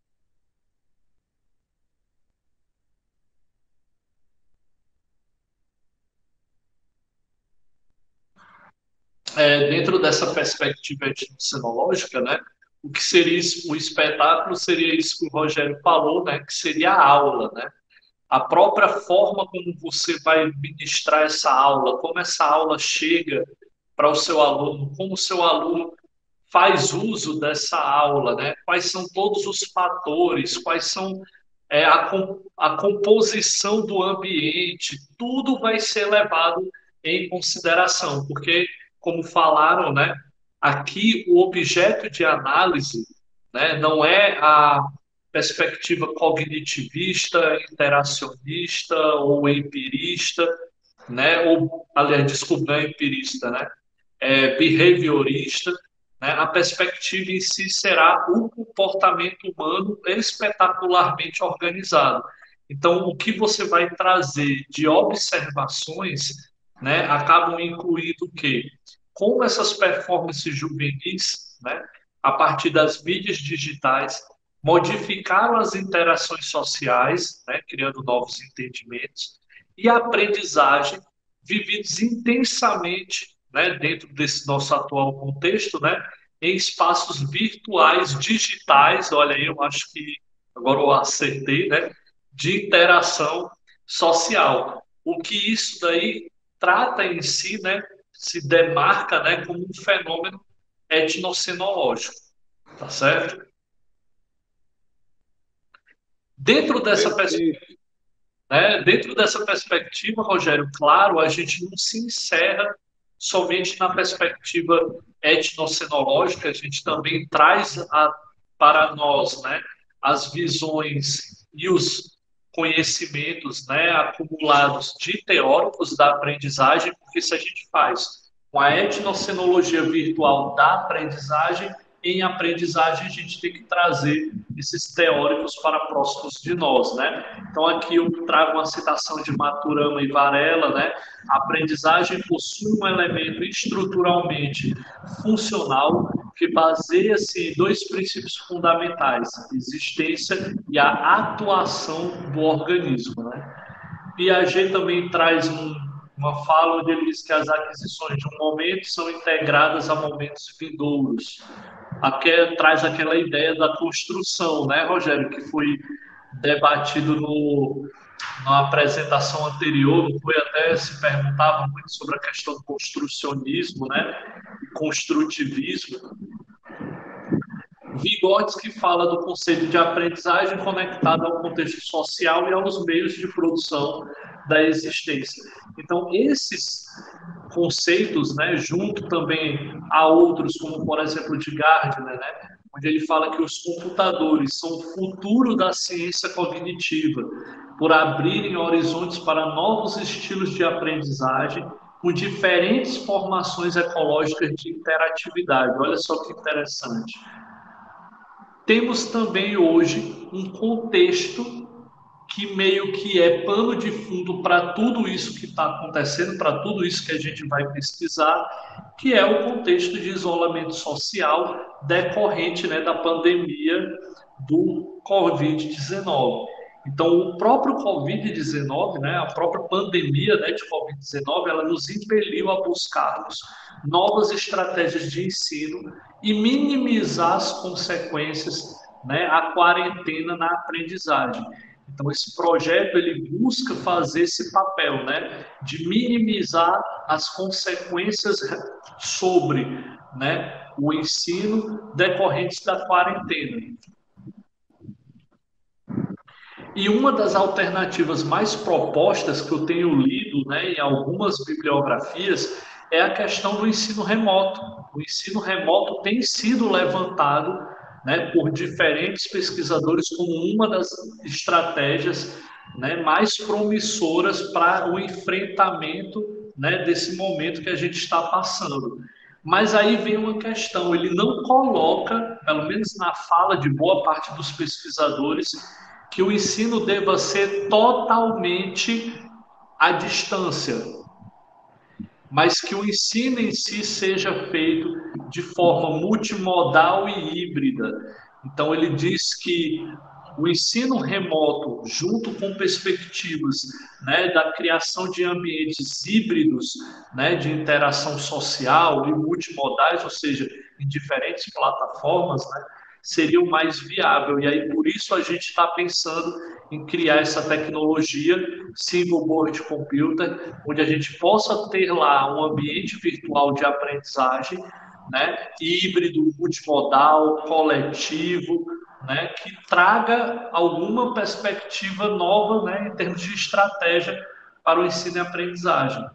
Né, ele fala que, dentre essa perspectiva, sala de aula versus ensino à distância, a melhor proposta é a que une as duas em um ambiente rico né, em interação social e em construção de conhecimento. Neto, aí... Tá aí? Oi? Neto, tá aí? Eu acho que tá. eu... Sim. Tá. Tudo bom, Neto? É, tudo bom. Eu queria até complementar um. Só abrir uma discussão. Que tu falou, Paulo, sobre ensino híbrido foi pauta de um, da aula da última sexta-feira de um curso que eu tenho participado do professor Herbert, que é exatamente sobre é, ensino híbrido, né? E aí o, palestrante, ele falou algo muito importante que as pessoas têm associado o híbrido somente ao uso do, do, do online, né, do remoto no presença, é, é aula presencial na, na, na modalidade remota, né? E tem esquecido que essa parte multimodal que tu citou, que é usar diversas ferramentas, complementando. Não usar só um tipo de ferramenta, não só um ambiente virtual, mas vários ambientes para complementarem essa, posso dizer, essa estrutura híbrida, né? Ela não é híbrida só de um, de um presencial e um, e um, posso dizer, virtual, mas sim de um digital, como o professor nos explicou bem claro agora há pouco, mas sim desse conjunto de ferramentas, né? Queria só falar disso porque é muito importante o que tu falou agora, com esse objetivo. Não, não, Neto, isso aí que você falou é tão importante que, Rogério, a gente passou muito por isso. Foi agora nas aulas, formato de apresentação, lembra? E a gente, a gente começou, pelo menos eu, Neto, com essa visão ultrapassada, sabe? Eu fui muito com essa visão somente do híbrido, né? E aí, quando a gente chegou lá na turma, a gente viu o quanto que a gente teve que se tornar versátil para poder unir exatamente isso que você está falando, o híbrido e o multimodal e o coletivo e o personalizado, porque Neto apareceu tudo quanto foi. É, não, não é legal a gente utilizar o termo dificuldade, sabe? Eu não gosto.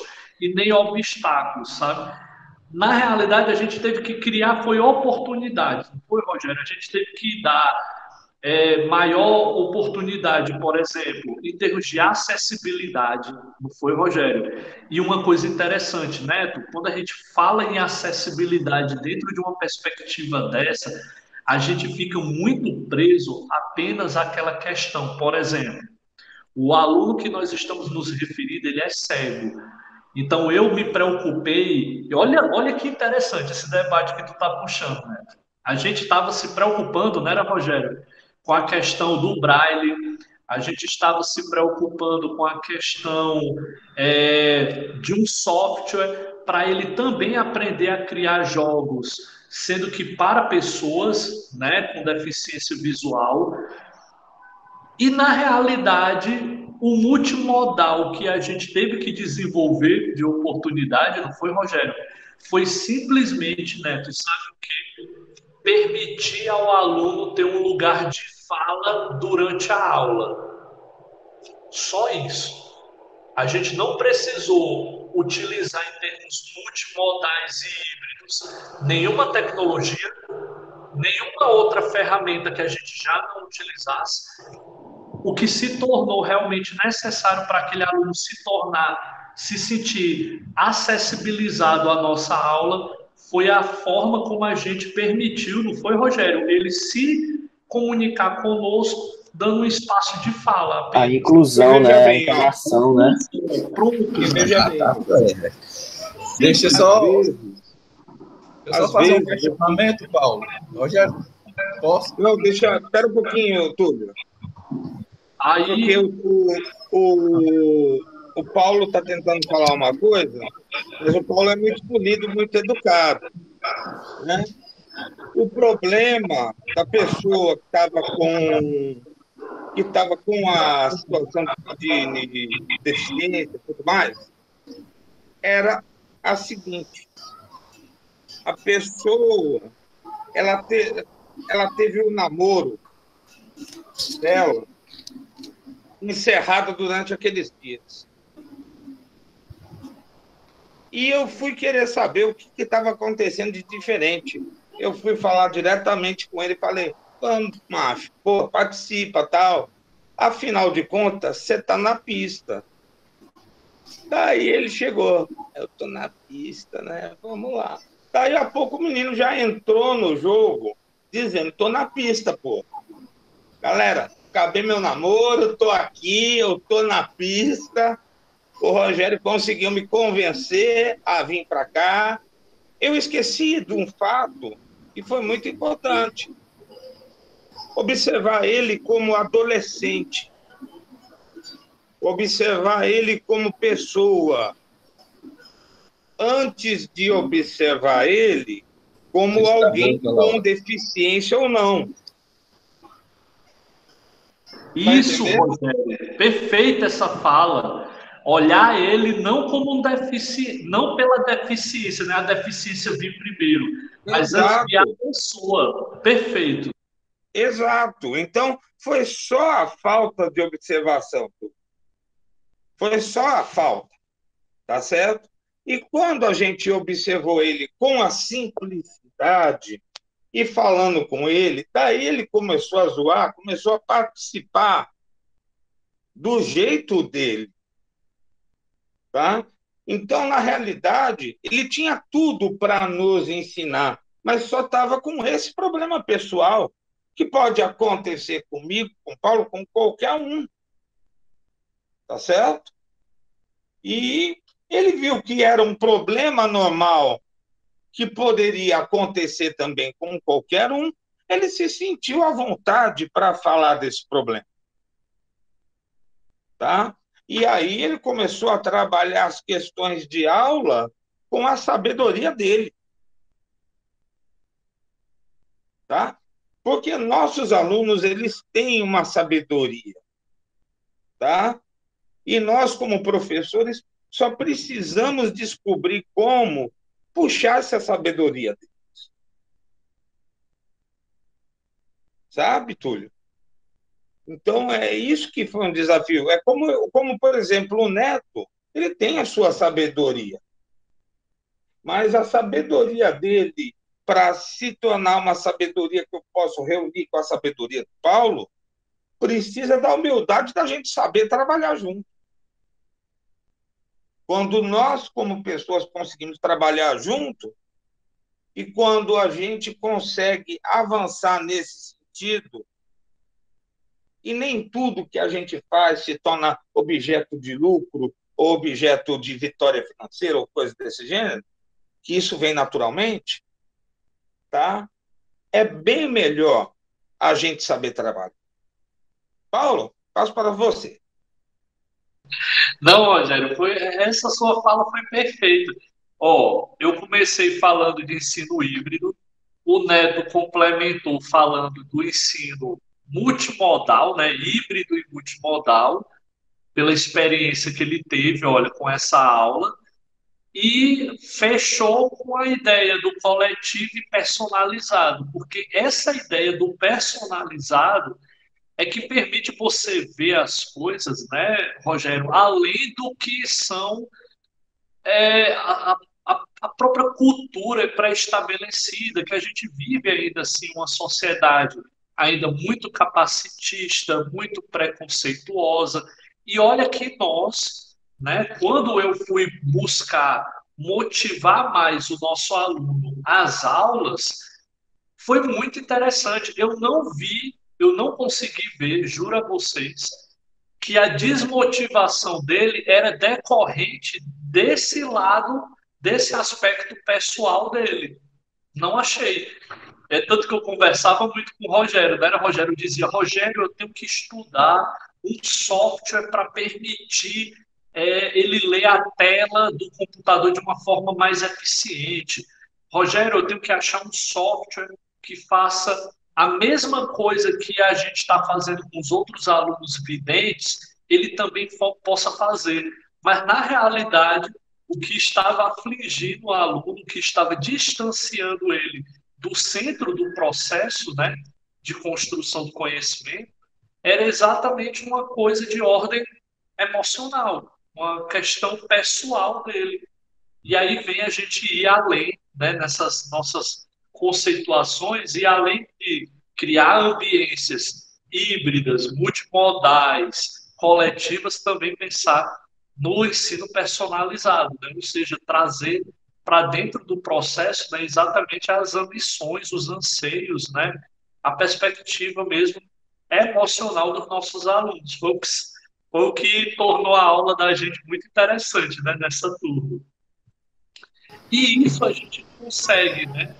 Tanto que a gente já tem né, no dispositivo, mas eu e o Rogério a gente pensa em trazer isso junto com o Neto para esse projeto né, do Ciclo Computer. É um sonho nosso poder desenvolver dentro desses quatro anos um produto que possa estar trazendo toda essa inovação. Opa, pode falar,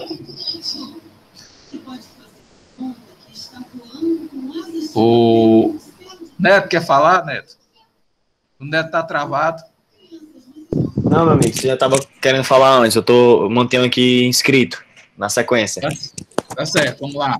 O Paulo, é, teve duas coisas que eu achei bem interessante, né? O ensino multimodal, híbrido, hibridação, esse single copter que você disse, você falou em criar uma metodologia.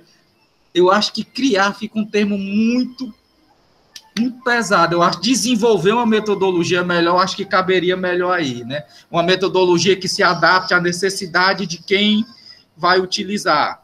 Não sei se eu estou falando, eu não entendo muito desse último termo, mas a história do ensino da ambiência híbrida, multimodal, personalizada, olhar para o aluno com um olhar mais é, humano, que foi o que vocês fizeram, né? A gente não pode esquecer que o ensino à distância ele começou por correio. Ele não começou por, pela internet. Quem, quem aqui lembra do Instituto Universal Brasileiro? Você fazia curso de eletrônica, de enfermagem, de detetive. Tem gente que tem carteira de detetive do Instituto Universal Brasileiro. Quer dizer, era um curso à distância.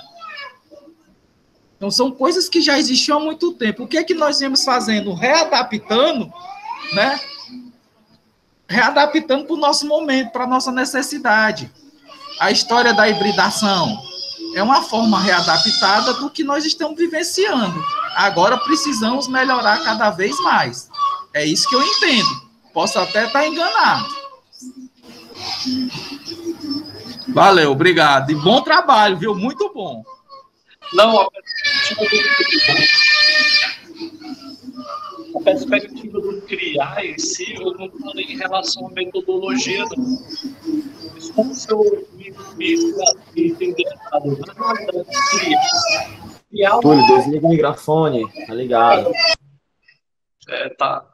É criar o um produto tecnológico, né? Que aí, no caso, teria que realmente se criar algo, né? A gente tem uma plataforma né, de single board computer que é a mais comum, né, e uma das mais difundidas, né, Neto, que o Neto tem, tem uma profundidade de estudo nela, que é o Raspberry Pi, e a gente está pensando em criar realmente uma perspectiva de poder aliar ela, né, essas ambiências híbridas e multimodais de interação, sabe? Que assim o Neto já tem dado algumas ideias super interessantes. Na apresentação dele foi foi fantástico sabe? E assim eu vou lhe ser sincero eu não me sinto em nenhum momento faltando com a modéstia ou sendo ou me sentindo arrogante ou orgulhoso em utilizar o termo criar. A gente tem que ser sim ousado e usar o termo criar porque muito faz muito se faz lá fora criando né? E aqui no Brasil muito se faz copiando, sabe? Então a gente tem potencial para criar, sabe? E realmente fazer algo novo. Eu tiro até como exemplo o Scratch, tem realmente acontecido uma coisa interessante com ele, sabe, Neto? Não sei se tu ouviu isso. É, por um tempo, o Scratch parece que tem sido proibido lá na China. Olha só que interessante.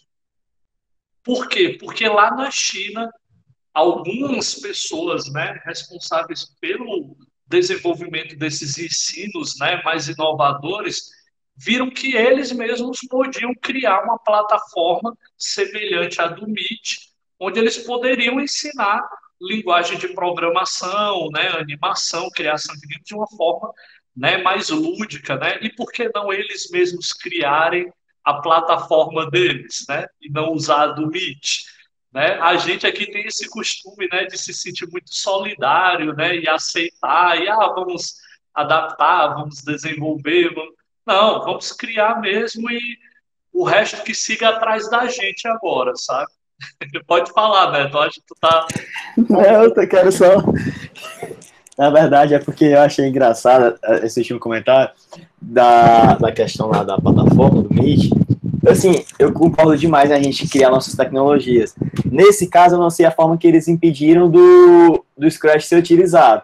Eu não quero entrar em viés político. Eu de, gente, eu detesto, eu não, não quero estar em extremos, pelo amor de Deus. Só que talvez é, também impedir não seja o caminho, entende? Incentivar desenvolvimento e tal, eu acho que é mais interessante, eu não sei a forma que eles fizeram isso. Mas o que eu achei massa, que eu queria dizer que macho, eu achei isso muito legal mesmo, foi quando tu falou dessa experiência com o aluno, né? Que a gente sabe quem o que aconteceu, que que eu acho muito, eu acho que a aí eu concordo contigo, Paulo, de novo, e, e Túlio, eu acho que o termo certo é criar, porque o que o Paulo fez, ele pegou a experiência de, de sala de aula, ele não trouxe um método do preso, não trouxe um método só. Ele juntou métodos e, e até posso dizer também que experiência de vivência pessoal, trazendo parte psicológica e tudo, e ele adaptou e criou, e, e, eu entendo que, que o meio dessa base que a gente quer utilizar, né, que a gente vai usar, utilizar no laboratório para tudo, que seria o single board, é criar mesmo uma metodologia de ensino nova, que é você usar ferramentas, uma base, né, uma base, um repositórios, bases para todos os nichos. Tipo assim, cara, o, que eu vi a, a tua experiência de adaptação, sabe? É, incluir não só com a metodologia que já existe, mas como o professor Rogério falou, identificando também a questão sentimental. Isso sim dá para fazer um conjunto e eu achei massa. Aí o que eu queria comentar anteriormente é que eu estava pesquisando, cara, sobre aquela ferramenta que a gente falou para montar o, a, a, parte de streaming, né? Aí depois eu vou comentar contigo no Telegram, eu tava até te chamando lá no Telegram para a gente mobilizar essa rede social que ela é fantástica. Eu tenho sido muito adepto ao Telegram ultimamente. E é isso. Ô, Neto, show, meu amigo. Então conte comigo, cara. Muito massa. E eu queria te falar uma coisa. É, eu não sei como é estava no processo né, que você está a fim de colocar energia solar, né, mas eu encontrei dá para conciliar com a Raspberry Pi para poder fazer energia elétrica já, na, já, já no que é necessário para fazer isso e aí eu vou dar Tá cortando um pouco o teu áudio. Eu acredito que seja o microfone ligado. Mas assim, eu vou. Mas a gente vai, vai amadurecer. Mas é, pronto, agora eu acho que tu consegue. Mas a gente pode falar. Não, aí eu vou te passar. Porque assim, gente, uma coisa que eu acho legal desse grupo, né, principalmente dessa ideia do, do, do Rogério, né, é que a gente quebre paradigmas mesmo, sabe? Eu acho muito legal quando, por exemplo, um dia desses, eu conversando com o Rogério, foi quando a gente estava até escrevendo, sabe, o projeto para conseguir bolsa para Mariane e a gente está tentando conseguir até mais do que a bolsa da Mariane, né? Mais bolsas, né? E aí a gente conversando lá e o Rogério falou assim, Paulo, a minha ideia é a gente criar, quem sabe, aí uma nova metodologia de aprendizagem, quem sabe criar uma nova escola de estudo, sabe? Poxa, se já existe aí a etnocenologia em 1995 fizeram, né? Fundaram a mesma, porque a gente não pode fundar uma nossa, né? Uma própria. A gente já tem um, uma certa quantidade de trabalhos publicados que trazem uma identidade para nós, que trazem uma roupagem muito característica nossa, por que não? Então, acho muito legal desse grupo, porque a gente é meio que é, de bater mesmo, sabe? Querer fazer a coisa é, girar de uma forma diferente, sabe? Então acho legal, sabe, desse grupo essa, essas quebras de paradigma, sabe? Essa questão meio de revolução científica que a gente quer fazer aqui dentro. Então é muito propício, sabe? Da, disso aqui nascem rupturas muito interessantes, sabe? O que a gente fez realmente nessa disciplina de informática na educação agora Gente, foi fenomenal. Muita gente já saiu já uma base legal para poder continuar seus estudos, desenvolver já projetos para suas aulas. Então, imagino que a gente ainda não pode fazer né, com essa galera que está entrando agora, né? Daqui a quatro anos, como é que não vão estar? Aí é isso. Mas alguém gostaria, gente, de fazer uma contribuição? Aí eu dou uma pausazinha, porque só falta mais uns três slides de conceituação, porque o resto seriam apresentações minhas para né, a, a, a arguição né, do doutorado, que aí são mais técnicas, metodologia, não sei se vocês vão querer ver isso, sabe? Mas se vocês quiserem, eu posso continuar na próxima aula, porque ainda tem o quê? Deixa eu olhar aqui. É, ainda tem uns 10 slides, né? E como deu muito pano para manga, aí vocês fiquem à vontade, viu? Se quiserem que eu pare por aqui. Até o Rogério pode falar. Rogério, o que, é que você acha? Eu acho Rogério... que já são quatro horas e você avance. Então eu avanço, eu avanço aqui, Rogério? Avança, depois no finalzinho, daí a gente abre a palavra, vai? Pronto. Então, gente, ó, eu vou entrar agora um pouco no que o meu amigo Neto já falou, né, das aulas passadas. Na, na, nos seminários passados, ele falou sobre single board computer, né, que se trata de um hardware onde ele permite executar sistemas operacionais, diferentes interfaces de troca de dados, tem um baixo custo né, de implementação, grande disponibilidade de modelos e distribuidores. Né? O que a gente utiliza, eu não sei se o Neto está pretendendo utilizar um outro tipo de, de, de tecnologia de single board computer, mas o que eu conheço é somente o Raspberry Pi, né? E, e, também é o que eu ainda consegui estudar e desenvolver algo, né? Então, Yamanor, no, nesse, nessa citação de 2017, ele já fala muito do emprego do Raspberry Pi como ferramenta pedagógica, né? Inclusive, ele coloca aqui SBC, né? Raspberry Pi. Kalashnikov, ele fala que além dessa ferramenta pedagógica, né, que o Raspberry Pi pode ser, ele também permite, né, a criação de ambientes virtuais, né, atividades, né, por meio de ambientes virtuais ou presenciais, utilizando, por exemplo, sensores, acesso à internet ou softwares em seus sistemas operacionais. É, todo mundo aqui já deve saber, né, como a gente está muito bem integrado aqui ao nosso grupo, né, o Neto já tem desenvolvido, inclusive dentro né, dessas perspectivas aqui junto com vocês, isso aqui é até de antes de eu entrar no grupo, né, várias atividades utilizando estas perspectivas aqui, né. Então, aquilo que eu falei até então foi o meu arcabouço teórico, né, eu agora entro na minha perspectiva de metodologia de pesquisa, né, onde ela inicialmente ela, se, ela consiste em uma pesquisa bibliográfica exploratória, mas lembrando aqui a vocês que o trabalho em si realizado pela pesquisa minha de doutorado não é uma pesquisa bibliográfica, porque isso daí tiraria o ineditismo necessário para que ela se colocasse como uma pesquisa de doutorado, né? Então ela não tem esse viés total bibliográfico. Isso aqui é uma perspectiva inicial, porque como eu estou entrando agora no doutorado, eu tenho que reunir, né, todo o estado de arte, todo o estado de conhecimento a respeito daqueles temas que eu falei anteriormente para vocês, para poder dar início né, à estruturação de como vai ser levada a minha pesquisa. Então, ela tem essa perspectiva inicialmente bibliográfica e exploratória.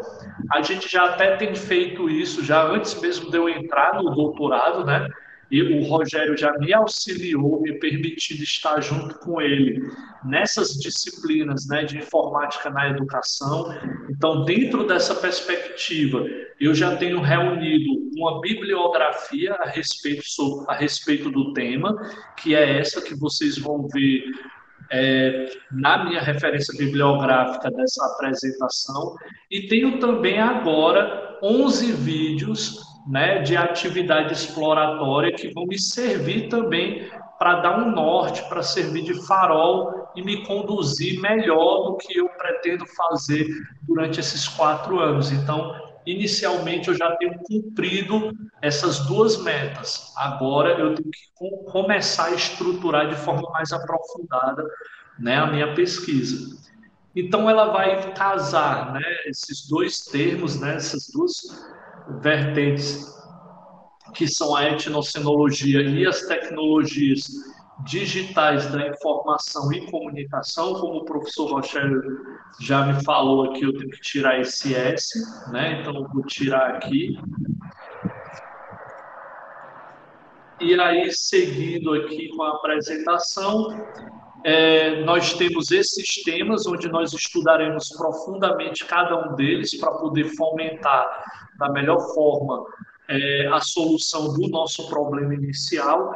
Então, estudarei bastante cybercultura, comportamentos humanos espetacularmente organizados, que é a área de estudo da etnocenologia, os processos de ensino e aprendizagem, os ambientes híbridos e multimodais de interação, as consequências do Covid-19 para o ensino e a implementação das SBCs na educação. Né? Eu vou tirar aqui também um S né, do SBC, vou deixar aqui da, né? da Single Board Computer na educação. E eu acredito que agora já esteja perto de se encerrar, certo, gente? É, a pesquisa, ela vai ser uma pesquisa a respeito da etnocenologia virtual da aprendizagem, onde ela buscará discutir e sistematizar de forma didática parâmetros e criações narratológicas por meio das tecnologias né, digitais da informação e comunicação. Isso aqui a gente já teve um trabalho inicial agora com essas turmas de informática na educação, onde a gente conseguiu né, criar criar não, observar né, as criações narratológicas dos alunos com o uso de dispositivos móveis durante essas mediações né, de videoconferência na disciplina de informática na educação, onde a gente vai ter uma amostra, né, lá na frente a gente pretende já com um produto né, do SBC desenvolvido, quem sabe aplicar né, em uma escola pública de Fortaleza. Isso era a minha apresentação inicial. Talvez durante o decorrer desse projeto, né, durante esses quatro anos, talvez isso aqui mude, né, mas de início a perspectiva era essa, né, a amostra ser uma escola pública de Fortaleza, o contexto ser o ensino médio e o universo né, de pesquisa serem os alunos. Né? Olha que interessante a estruturação. O sujeito e corpus né, serão alunos do ensino médio de uma escola pública de Fortaleza, cujos critérios de inclusão seriam ter a disponibilidade de participar da pesquisa no contraturno das aulas, frequentar assiduamente as aulas do ensino médio, estar disposto a participar voluntariamente da pesquisa, segundo as orientações do pesquisador.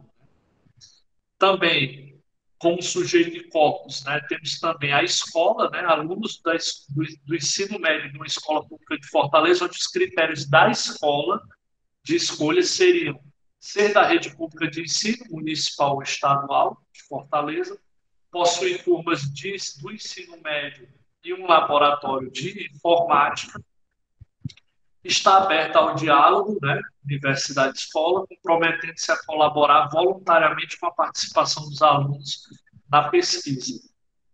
Os procedimentos metodológicos, né, inicialmente a pesquisa bibliográfica, né, com levantamento bibliográfico, busca de fontes, leitura do material, fichamento, organização lógica do assunto, redação do texto, e finalizada a etapa anterior, né, nós teríamos que construir os questionários online, né, elaborar as entrevistas semi-estruturadas online, analisar também, claro, o ambiente virtual de aprendizagem com SBC que a gente pretende Ei, Paulo, é, como é que pretende fazer essas, essas entrevistas semi-estruturadas online? Ah, eu estou pensando em utilizar ou videoconferência, certo? Pelo Google Meet, ou usar, no caso dos questionários, o Google, Google Forms. Né? Elaborar aqueles questionários pelo Google Forms e lançar para os alunos e aí colher dessa forma. Ok. Deixa eu falar uma coisa bem simples. É, não... eu estava eu estava pensando aqui, eu passei esse fim de semana pensando sobre o seu trabalho. Vai fazer uma, tipo análise de conteúdo, é isso? Toninho, espera um pouquinho só, deixa eu só dar um toque para ele de uma coisa importante, uh, que serve também para vocês, Toninho, Fredson. Eu estava pensando sobre como um curso desse poderia atingir o ensino fundamental e médio dentro de uma perspectiva construtiva para que eles possam ter o seu tra trabalho acadêmico realizado. E eu eu estava pensando, olhando o material de física, e eu pensei nas grandezas, sabe? Me veio sempre em todo material de física, seja do ensino fundamental, médio ou superior, no, sendo que no médio vem uma preparação para o superior, vem sempre uma discussão sobre as grandezas, sabe? Então, e quando a gente olha os materiais do estudo de física, eu acho que as grandezas elas representam muito bem as oito áreas que são contempladas pela física no ensino superior. Sabe? Eu acho que há uma forma mais fácil de se ensinar aquilo que se apresenta como algo dificultoso sabe? Eu acho que nós temos uma narrativa pronta. Daí eu peguei aqueles quatro livros do Física do Resnick, né? E é uma literatura muito utilizada, mas eu peguei mais como modelo de estudo, né? Inclusive, eu já até menciono aqui que nós temos já um bolsista do GeoGebra, do projeto do GeoGebra, do ensino de física, que é um estudante de física, eu fui falar com a Frânio hoje, ele já selecionou e já colocou no sistema já o aluno na sexta-feira passada, mas eu não sei como faz isso, viu, César? Então, precisava, vamos dizer, a gente já tem em mente essas questões. Nós vamos ter um bolsista também do lado de cá. E eu queria ouvir depois o Paulo sobre isso, que eu sei que não dá tempo da gente falar sobre isso, mas eu sei que ele tem a formação em física.